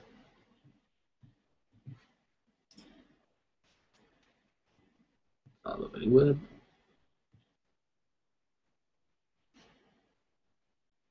Oh, eccolo qua. Ok.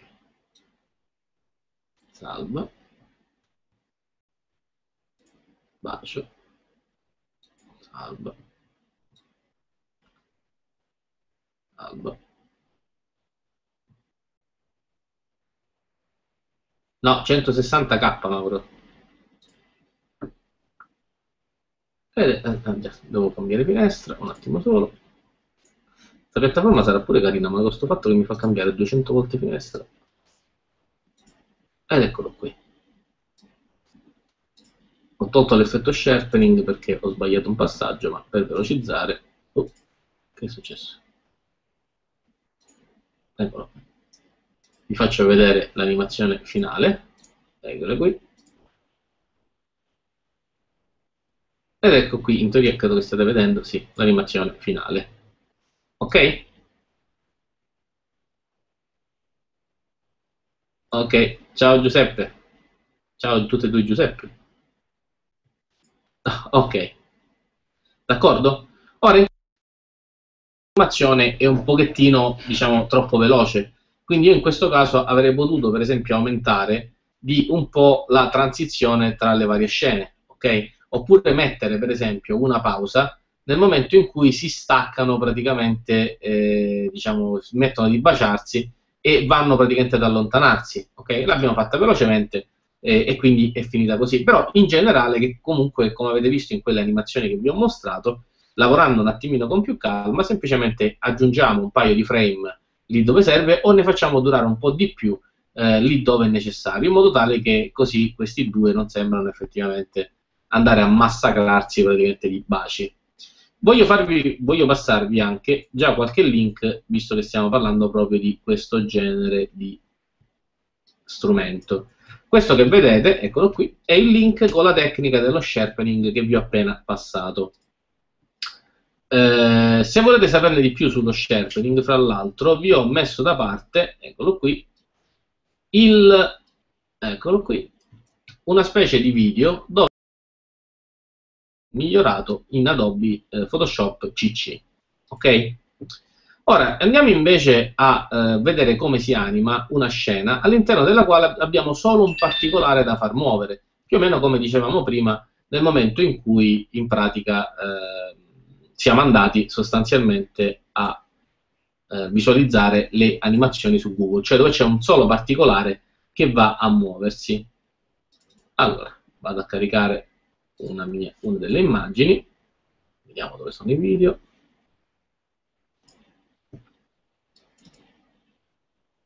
Uh, eccole qui. Allora, vi faccio vedere per esempio la scena, che dovrebbe essere questa. Vediamo un attimo.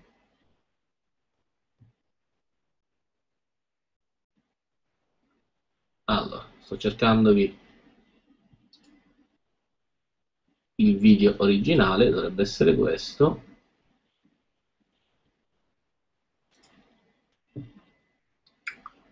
Allora video, video originale un attimo di pazienza. In realtà me li ero anche preparati ma non li eccoli qui. Non avevo segnato correttamente quello che mi interessava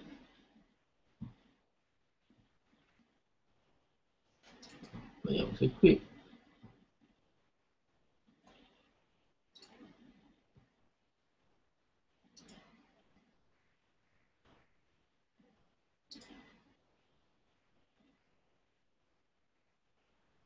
Zero due venti. Ok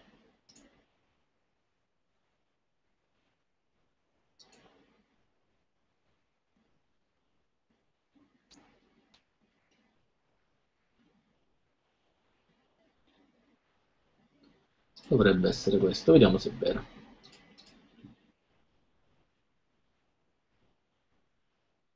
Ovviamente non è questo. Abbassiamo un attimino il volume.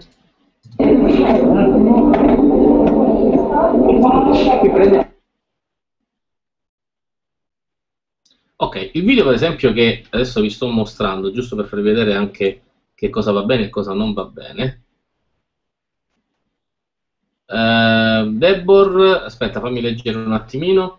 Praticamente si potrebbe creare un'animazione su Flash e poi inserirla all'interno di Photoshop su un altro livello statico. E sì, volendo sì, Debor. Se la esporti come MOV, sì, perché no? Cioè, tieni conto che adesso vi farò vedere alcuni dei video che ho da parte per farvi capire quando passiamo ai micro video eh, che cosa diciamo si va a fare, però la logica è quella, ok? Sì, sì, esatto, no, no, ma hai colto nel segno, è giusta la tua logica. Allora, il video che trovate adesso, diciamo, in sovraimpressione è un video sbagliato, come non si vede. Sì, dovreste vederlo, io vedo quello che voi... Ah, è saltato. Ecco fatto. Allora, dicevo, il video che avete in impressione qui, in questo momento in sovraimpressione, è un video inadatto per le Cinemagraph, perché? Perché noterete che ci sono comunque, diciamo, parecchi movimenti della scena e il rischio qual è? Che riusciamo a prendere magari una scena che ci piace, però contemporaneamente all'interno di quella scena magari succede che effettivamente si muove la cinepresa, si muove qualcos'altro, i personaggi si muovono. Ora però attenzione perché abbiamo adesso visto in questo momento una scena di pochi secondi dove in pratica l'attore principale, eccolo lì, quello con la camicia arancione, si muove mentre tutti gli altri sono immobili. Allora io cosa faccio? Prendo il video e innanzitutto lo vado a ritagliare. Ok? Quindi comincio un attimino a prepararmi la mia scena. Eccola qua. Vediamo un attimino, aumentando un po' la grandezza, troppo, comincio a cercarmi il punto della scena nel quale la telecamera è ferma e l'unica cosa che si muove è magari la faccia del personaggio che fa le sue smorfie. Quindi facciamo finta che la mia scena possa essere, eccola qui, questa. Quindi vado a ritagliare fino ad arrivare, vediamo un po' quanto si muove, vediamo, vediamo, vediamo,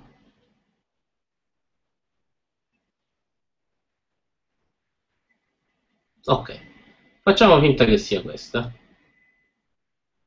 Ecco fatto. In questo piccolo spicchio di animazione io ho due possibilità. Guardate un po' l'animazione. Adesso l'ho messa in loop. Posso decidere di animare la faccia mentre tutto il resto intorno è immobile, è immobile oppure il piede dell'attore, che in pratica è un particolare che si muove. Ok? Io animerei il piede. Allora, eh, poco fa chi era? Deborah che aveva chiesto come si faceva per esempio eh, il ciondolo, ad animare il ciondolo che si muove, adesso non ricordo chi di voi l'aveva chiesto, ok?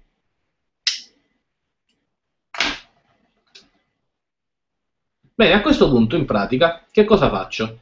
Io voglio, ve lo faccio vedere con un livello a parte così ci capiamo velocemente, io voglio in pratica che la parte in pratica, eccolo qua, la parte da animare corrisponda a questa zona qui. Ok? Quindi facciamo finta che questa sia la mia area da animare. D'accordo? La vedete? Sì, penso che la vedete perché se state guardando Photoshop in teoria dovrebbe vedere. Ciao Valentina. Comunque noi un quarto d'ora poi abbiamo terminato. Sperando che il diluvio che si sta preparando non rompa le scatole.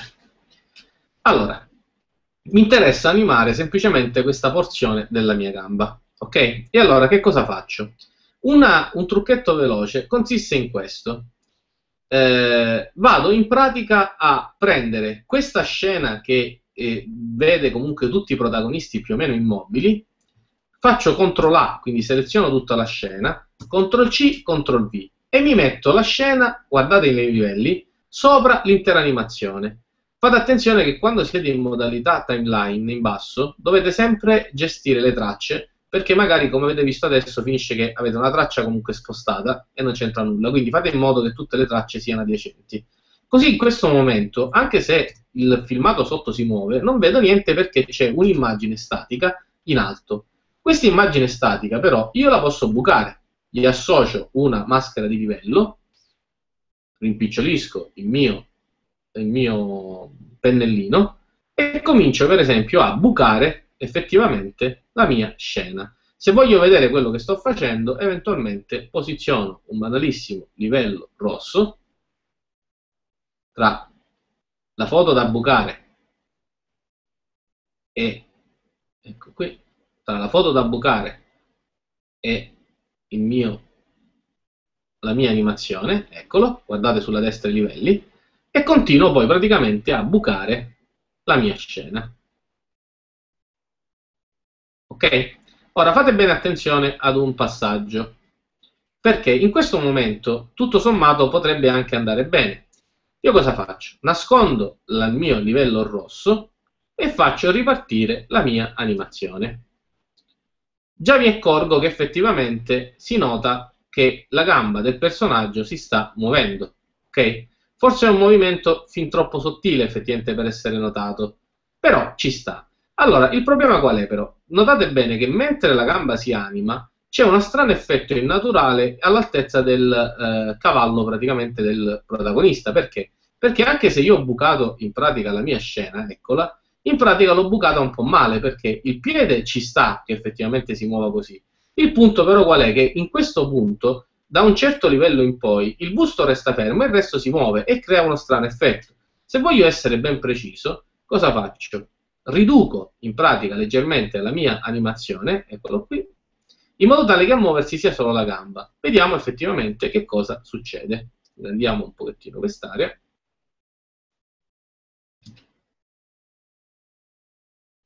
Il piede si muove. Eccolo qui. Quindi più o meno da questo punto in poi, vediamo qual è il punto preciso se si ferma magari è anche meglio. Uh, è ferma. Ok. Vediamo dov'è il punto preciso all'interno del quale il personaggio muove la gamba. Eccola qua. Notate anche voi non so se si vede a schermo che c'è ancora qualcosa che non va perché la parte superiore del pantalone comunque rimane immobile. C'è un netto stacco nel punto in cui praticamente si muove il tessuto sulla gamba del soggetto. Ok quindi a questo punto, prima di tutto, blocco la mia animazione qui, dove effettivamente il piede si muove e fa il suo gesto, quello che mi interessa. Quindi prima di tutto riduco sostanzialmente, eccolo qui, il mio video, la mia clip. La riduco anche il resto. Ecco fatto. Ecco fatto. Ecco fatto. Ok. E adesso quindi ho solo praticamente i due secondi che mi interessano. D'accordo? Bene. Però abbiamo detto che abbiamo questo problema effettivamente del dover migliorare un pochettino il modo in cui si va a poggiare la gamba, praticamente il movimento del tessuto su di esso. Quindi cerchiamo piano piano di migliorare un po' l'appeal di questo tipo di passaggio.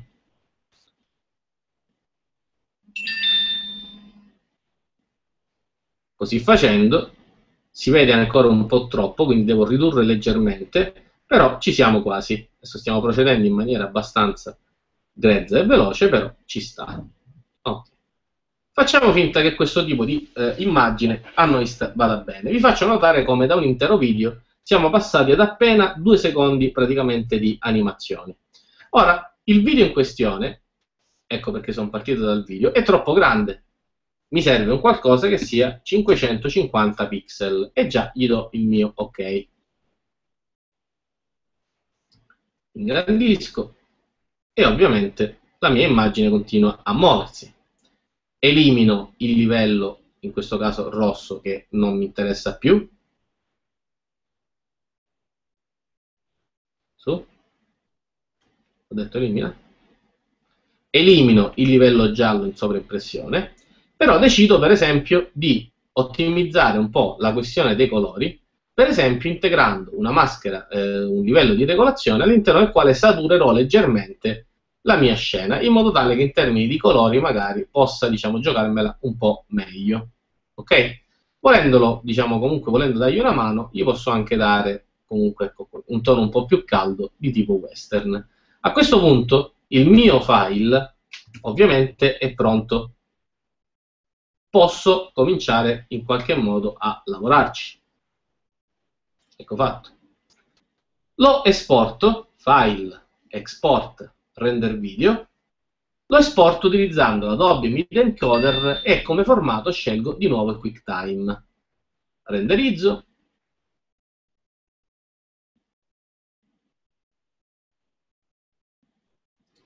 Aspettiamo un attimino che esporta il video. Ecco fatto.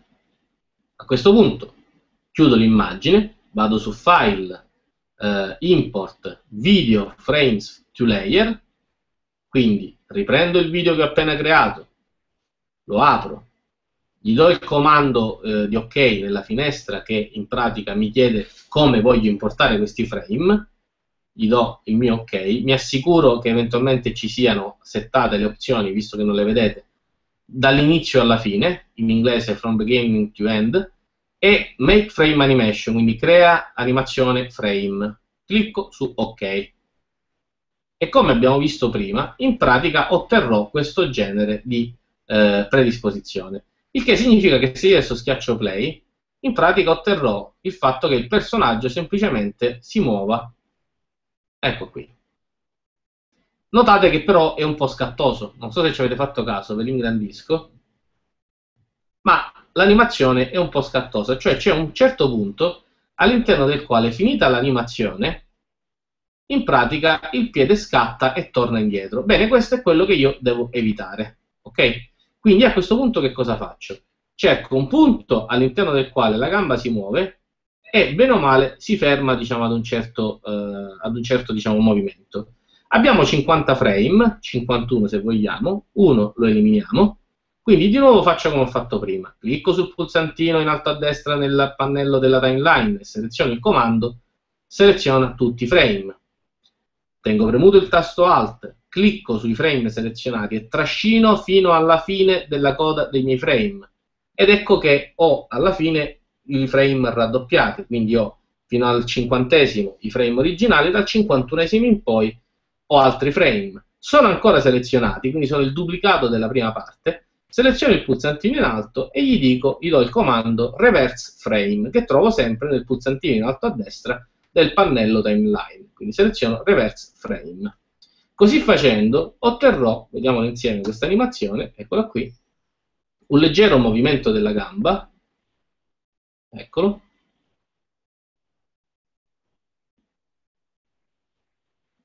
eccolo qui.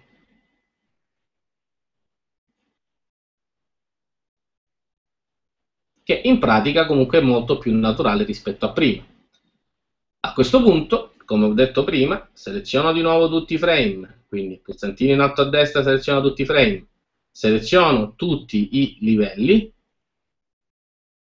ho detto seleziono tutti i livelli, vado su filtro, converti in smart, in smart filter, poi torno su filtro e gli do il comando, eccolo qui,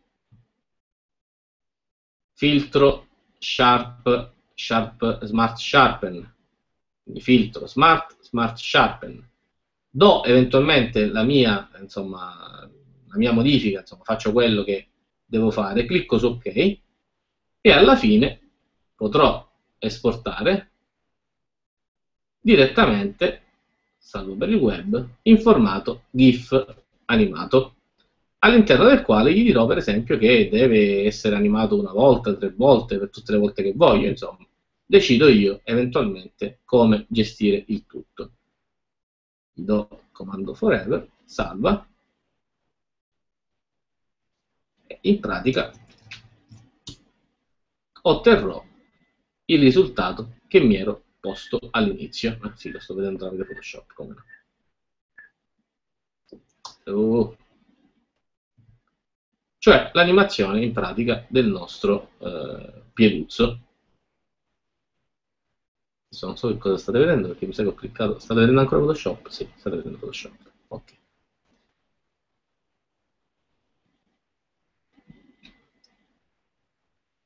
A questo punto, ah, cosa molto importante, mi ero dimenticato un dettaglio prima di passarvi il link. Ehm, per quanto riguarda ovviamente le animazioni di singoli oggetti, come la cinemagraffa che abbiamo visto prima del quinto elemento, appunto si muoveva da destra a sinistra, ovviamente l'area di riferimento è chiaro che sarà quella praticamente del ciondolo che si muove. ci sono addirittura alcune tecniche che prevedono in realtà la sovrapposizione comunque di ritagli di pezzi praticamente d'animazione in modo tale, ripuliti in modo tale che effettivamente non ci sia disturbo dietro. Il trucco però del mestiere è andare sempre a scegliere, come vi dicevo prima, come avete visto anche adesso, un movimento che sia veramente di 2 massimo 3 secondi. Sapete perché? Perché più, più, è lungo il tempo, più c'è il rischio che il soggetto dietro si muova. La scelta, voglio farvi rivedere un attimino quello di prima, le cinemagraph cinematografiche. Allora, un attimo, eccola qua, attivo lo screen.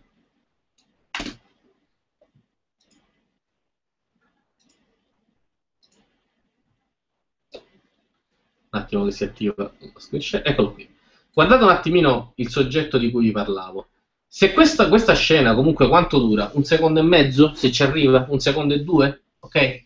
Se, se fosse durata di più di quanto effettivamente non stiamo vedendo, il soggetto dietro si sarebbe comunque un pelo mosso, avrei visto la giacca muoversi leggermente, la faccia muoversi leggermente. All'interno, per esempio, del, ehm, diciamo, di, di alcune cinematografie che ho visto online, anche su siti importanti, mi sono accorto, per esempio, di micromovimenti che non dovrebbero essere visibili, perché probabilmente non ci si è accorti del fatto che il personaggio si era micromosso un po' troppo durante la lavorazione, l'elaborazione dello scatto. Ok? Ora, quindi in questo caso, siccome io effettivamente ho appena un secondo, cosa prendo? Prendo quella frazione di secondo che vede il, il, questa specie di tesserino partire da sinistra, andare verso destra, dopodiché che cosa faccio? Ovviamente lo monto in, diciamo, al contrario, in modo tale che eventualmente sia diciamo, assolutamente eh, identico il movimento che viene a fare. Okay?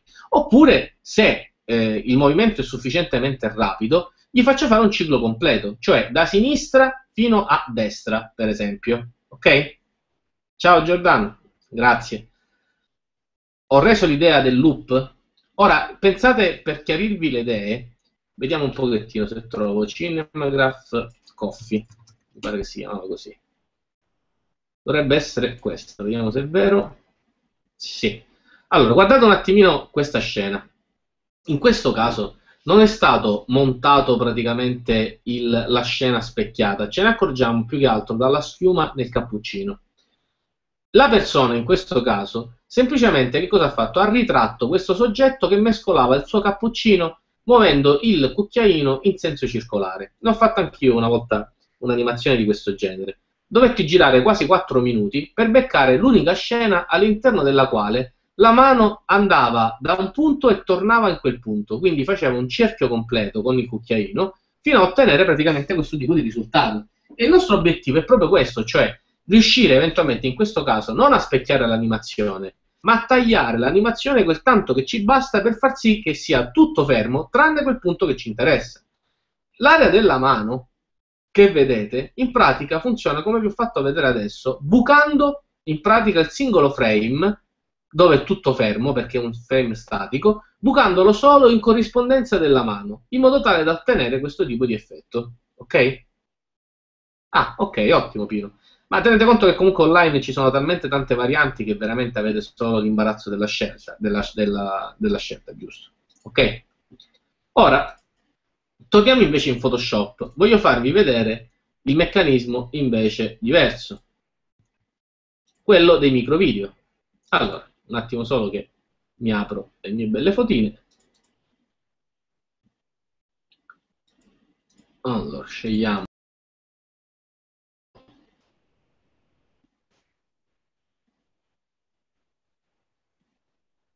Vediamo se c'è qualche bella fotina da poter utilizzare.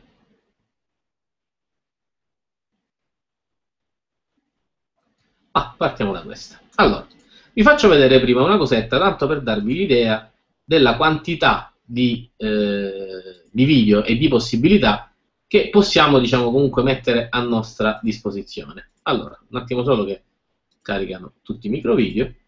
Allora, attivo carico VLC. Voglio farvi vedere un po' di video creativi utili per capire a che cosa mi riferivo quando parlavo per esempio di effetti speciali. So, sto prendendo un po' a casaccio. ma dovrebbero bastare questi. Un attimo di pazienza che carica VLC, che il mio Mac stasera è di nuovo sotto sforzo e non si sa perché. Su.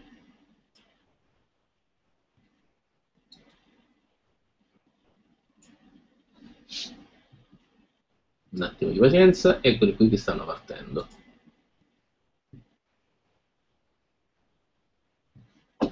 Rimpicciolito la mia finestra.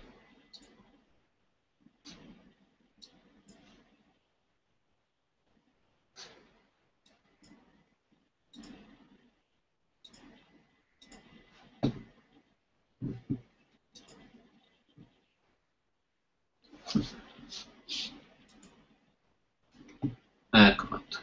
Allora.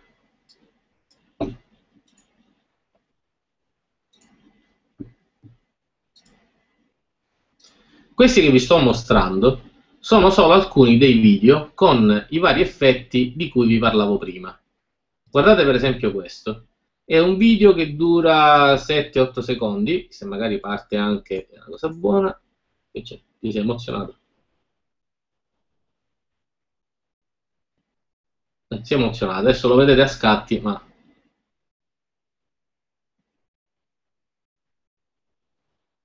Ok, adesso si sta, non so perché si vede così da... Ah, già, vero, scusatemi, no, errore mio, perdonatemi.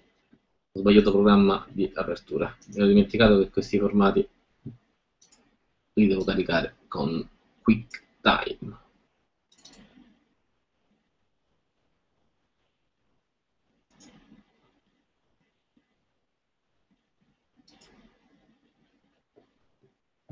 Oh, eccoli qua.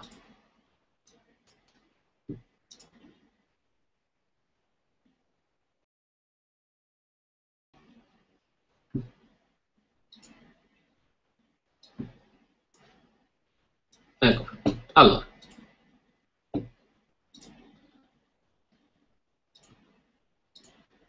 Questo è il primo video.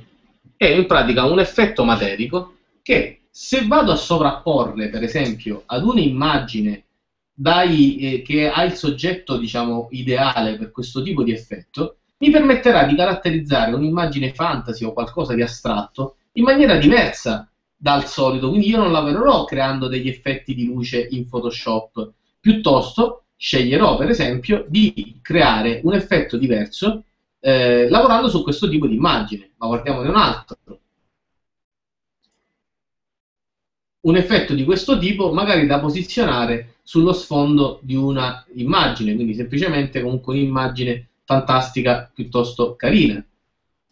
Poi ad esempio possiamo scegliere effetti come questo, che è in pratica un effetto Grange, che possiamo utilizzare in sovrapposizione ad un altro effetto. Ora questa è già un'immagine di per sé lavorata, ma noi la possiamo sovrapporre, adesso vedremo anche come. Oppure ancora,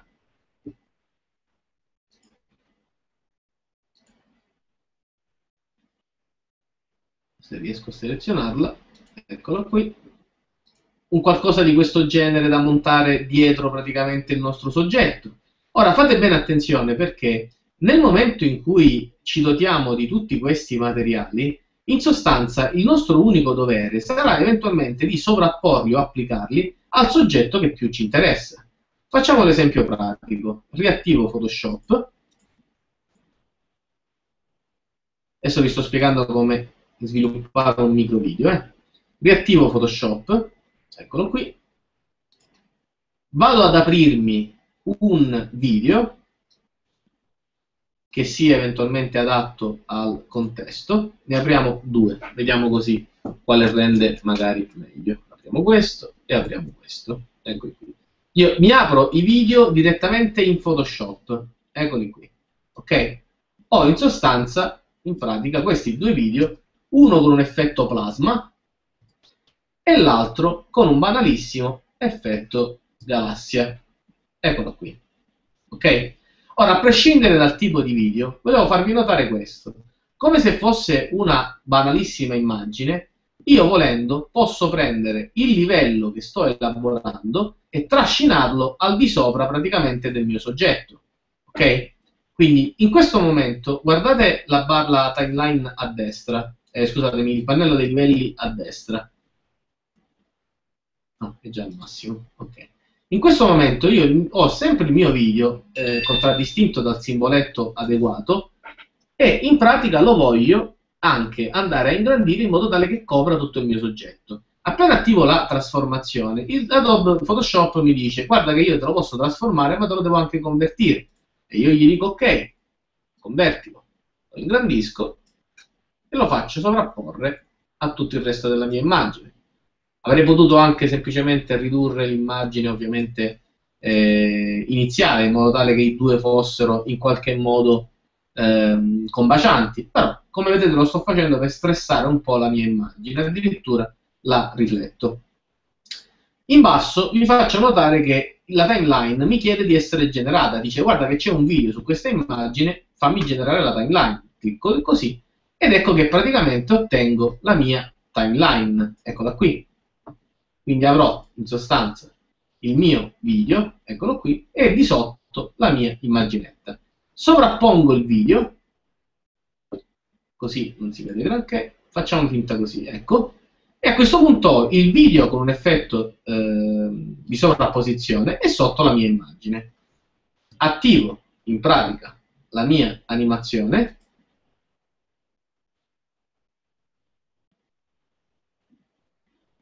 che in questo momento, essendo l'oggetto convertito, non si vede granché, lo esportiamo così lo vediamo nell'altro formato.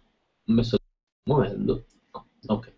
Vado su File, Esporta, Prendere video, gli diamo come dimensioni, facciamo un 500, se no diventa, diventa pazzo. 500 per... Boh, facciamo così, 350, via. Lascio tutto il resto così com'è, giusto per eh, evitare insomma, problemi. Eh, sì, no, lasciamo tutto così com'è e renderizziamo. Vediamo che non ci mette molto.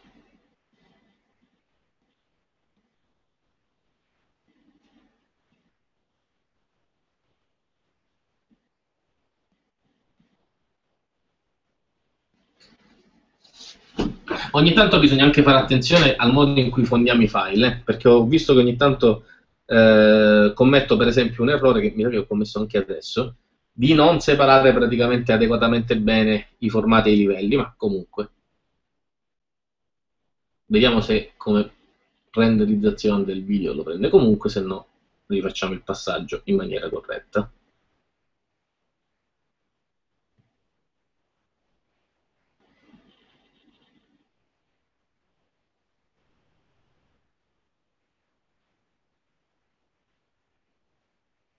Un attimo di pazienza.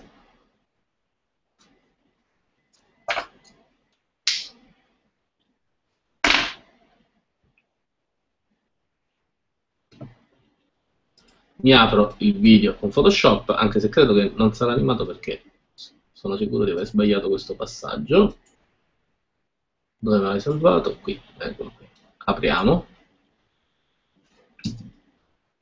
Eh, infatti, io ho sbagliato il passaggio che vi dicevo prima.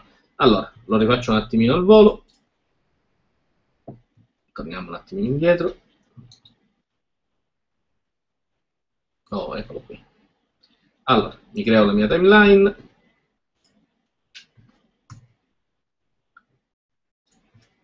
Vado di nuovo a sovrapporre l'oggetto.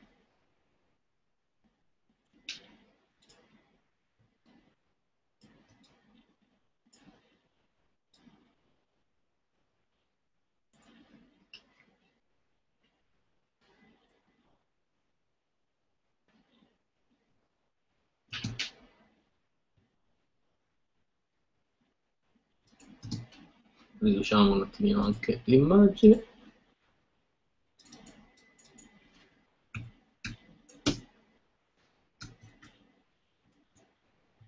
Ecco qui.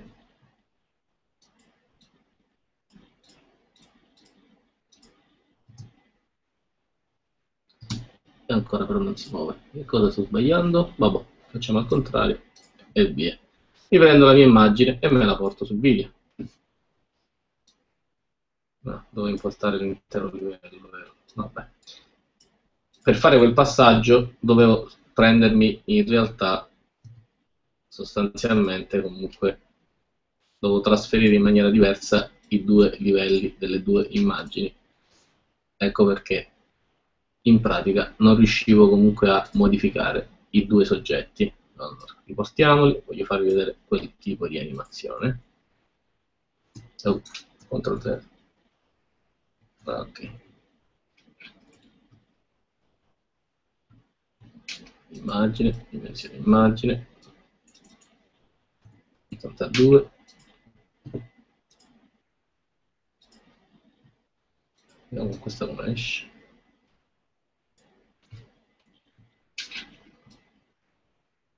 Ok.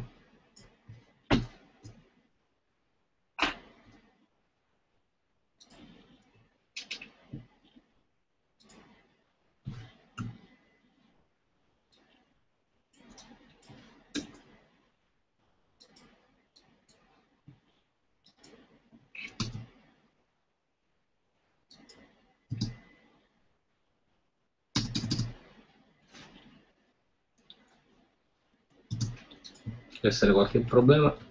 Ok, vediamo se è così. Non ti sforzi troppo.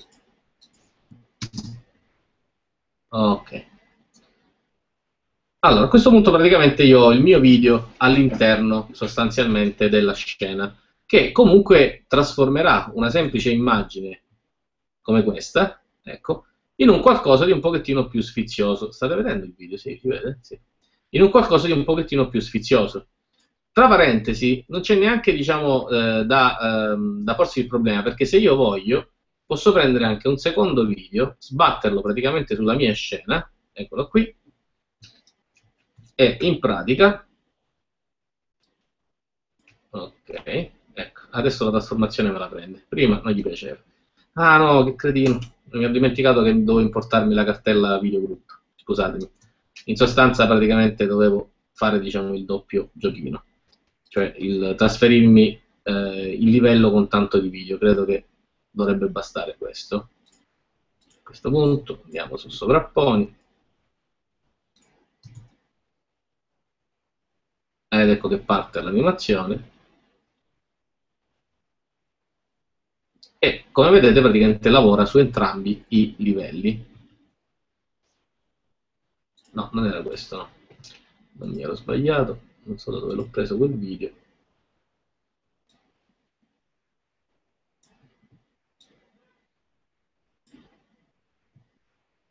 Ok. Eliminiamo le due cartelle.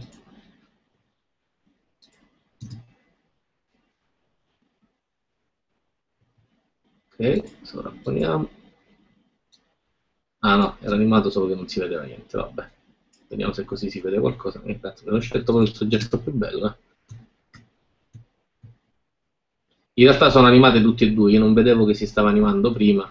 Si muove piano piano, ma eh, se vedete comunque ci sono dei pixel che si muovono. Il concetto che volevo mostrarvi è che volendo comunque posso diciamo, andare a movimentare in pratica all'interno della mia scena gli oggetti diciamo, in modo tale che si animino comunque anche singolarmente. Ok? Quindi posso comunque giocarmeli e sistemarmeli lì come eh, preferisco. Se poi voglio fare eventualmente qualche eh, diciamo comunque modifica aggiuntiva, posso addirittura andare a posizionare anche dove siamo degli effetti di regolazione, posso diciamo associarle come maschera direttamente a quel tipo, ecco fatto, a quel tipo di soggetto. Posso dargli, che ne so, insomma, una, qui un filtro comunque di altro genere, insomma ci posso giocare. E la cosa buona è che addirittura nei livelli con animazione posso addirittura andare a creare un buco con una maschera, cioè anche se sono comunque dei video li posso comunque gestire come mi pare e piace, certo che se magari dipingo in nero anziché in bianco è anche meglio. Ecco fatto.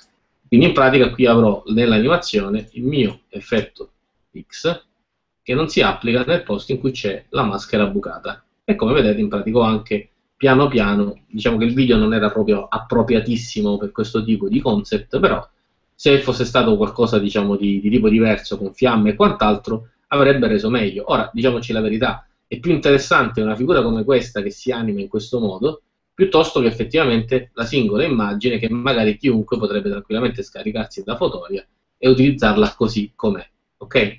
Nel momento in cui poi la voglio esportare, chiaramente il sistema comunque mi permette diciamo, di esportare, come abbiamo visto prima, anche eventualmente in un formato eh, diciamo, animato, però è chiaro che vista la complessità ci conviene di più andare, ecco guardate già sta faticando, ci conviene di più andare ad esportare da file, export, render video, il nostro video in altra maniera. Ricordatevi anche che quando esportate un video potete anche scegliere eh, non solo il formato QuickTime H2S4, ma anche la sequenza di immagini in JPEG o altro formato per creare eventualmente la vostra animazione. Ok? Allora. Eh, sì, esatto, Deborah, scusami, ho letto adesso. Esatto. Nel livello praticamente del video potete posizionare tutto quello che volete. Ora, in realtà, negli altri video, eh, cioè nel, quando aggiungete ad una fotografia un video, potete anche manipolarlo con effetti come trasforma, ruota. L'ho sempre fatto, solo che in questo momento sono cotto e non so perché. Non mi eh, ricordo praticamente quel... Cioè, sto sbagliando un passaggio, evidentemente. Mm, comunque, in ogni caso, comunque potete giocare voi stessi e importando l'una il filmato e il video da una parte all'altra fino a giocarci praticamente spostando gli oggetti come vi pare e piace. Ne potete mettere più di uno e potete effettivamente divertirvi. Io sto qui, non so se, eh, se ce l'ho a portata di mano, no, non è qui. Poi comunque nel mio portfolio troverete un elaborato che mi era stato chiesto qualche tempo fa, eh, in pratica un tizio, diciamo un curatore comunque di una specie di rivista di, diciamo, di, ehm, dice, eh, di modellismo, vide praticamente un elaborato che avevo fatto io statico e mi chiese proprio di fare un lavoro di questo genere.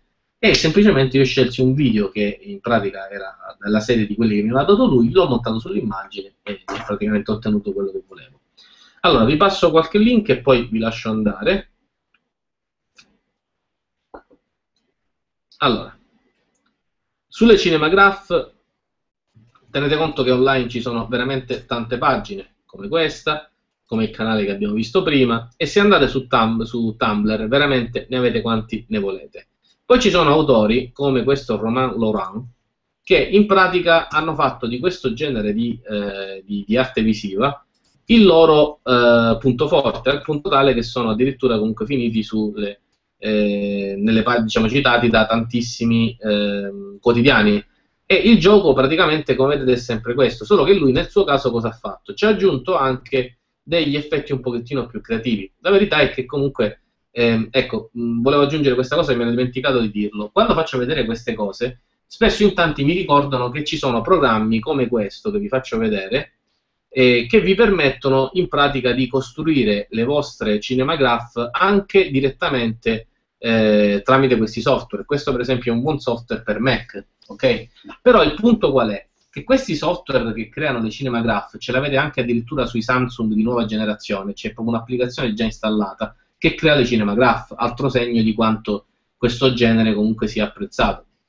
Ehm, ehm, se lo fate però con Photoshop, vi potete divertire di più, divertire in senso creativo, cioè potete aggiungere effetti, potete ritagliare immagini, potete giocarci, quindi io vi consiglio comunque di diventare comunque bravi con Photoshop. Eh, come avete visto comunque tutte le animazioni che vi ho fatto vedere, quelle poche che vi ho fatto vedere, ma quando caricherò il portfolio poi ne vedrete di più, sono comunque state possibili perché semplicemente perché lo facevo in Photoshop, quindi giocavo con gli effetti, con le sovrapposizioni, con le maschere, bucavo, estraevo, espandevo, esportavo, rimportavo, tutto diciamo comunque a mia, eh, insomma, secondo quella che era la mia eh, volontà creativa del momento.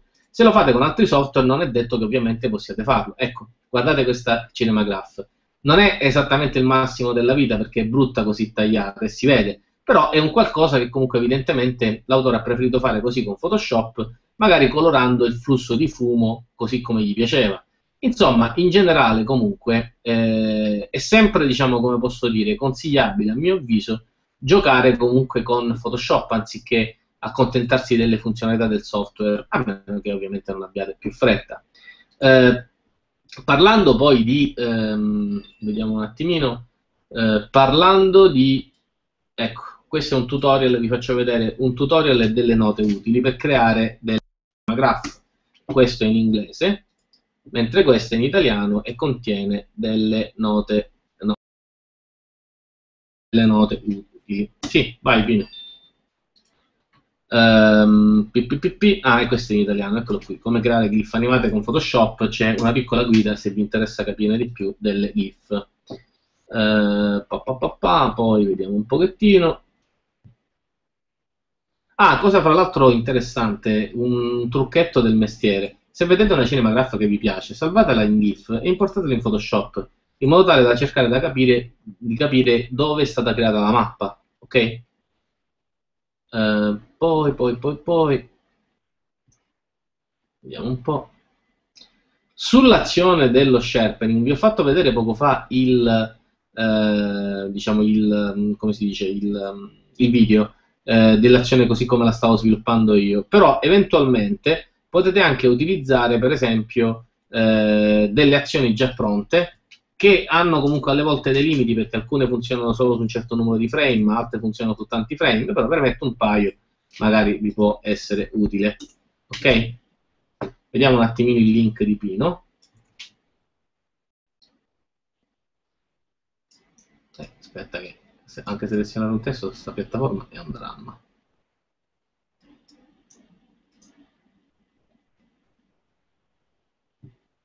Eccolo qui. Debor, filmati di tipo stock già pronti, con gli effetti che hai fatto vedere dove si possono trovare. Ma io fai conto che li acquisto prevalentemente su Fotolia. E...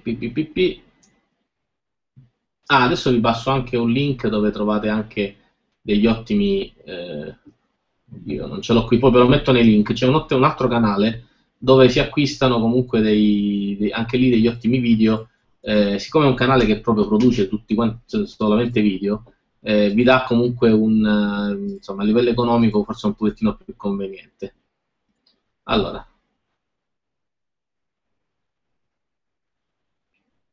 Beh, carina Pino, non è male, non mi dispiace affatto. Tra parentesi, perché non ti seguo su Tumblr? Uh, adesso ti seguo. No, è molto carina invece. Onestamente non mi dispiace affatto, anzi. C'è solamente, diciamo, una... Un, eh, eh, ah, ecco, perché adesso mi sono accorto che...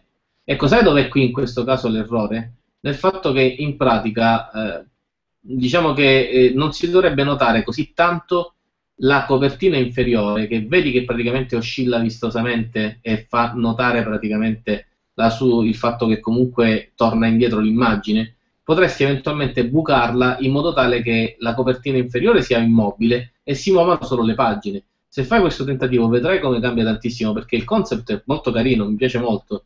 Eh, prova a fare questo giochino e ti renderai conto del fatto che eh, no, no, vabbè, lo capisco, ma ho capito che l'hai fatto così, ma a maggior ragione comunque eh, insomma, ti è uscito un bel lavoro, però era solo per dirti come questo tipo di dettagli, cioè quello dei perimetri esterni e della sovrapposizione degli elementi, se ben gestito è proprio ciò che caratterizza eventualmente una buona cinematografica. Ok? Va bene. Allora, bella gente. Detto questo, prima di crollare definitivamente, io innanzitutto vi ringrazio di essere stati qui stasera, di aver seguito questo webinar, eh, al quale poi comunque una volta pubblicati i link pubblicherò anche un paio di specifiche in più su questi due passaggi che, eh, che comunque rimostrarvi fatti comunque un po' meglio perché col fatto che sono cotto mi sfuggivano un paio di dettagli, quindi eh, come vedete ho dovuto fare due o tre volte la stessa tentativa, abbiate pazienza, ma eh, sono attivo praticamente dalle 5 di stamattina grazie alla bomba d'acqua. E, ehm, quindi sono leggermente cotto, però la tecnica è quella che vi ho mostrato e vi spingo comunque a utilizzarla e divertirvi. Eh, spero insomma diciamo, di avervi offerto qualche spunto uh, utile e creativo per i vostri futuri lavori e mi auguro di vedere tante cinemagraffe e tanti micro video al lavoro. Ricordatevi che se volete fare presa anche sui vostri clienti, se gli fate vedere micro video e cinemagraph, vi garantisco che guadagnate istantaneamente 100.000 punti, ve lo dico per esperienza. Ok? Di nuovo grazie, vi auguro una buona serata e ci sentiamo presto. Grazie a tutti quanti voi. Ciao ciao.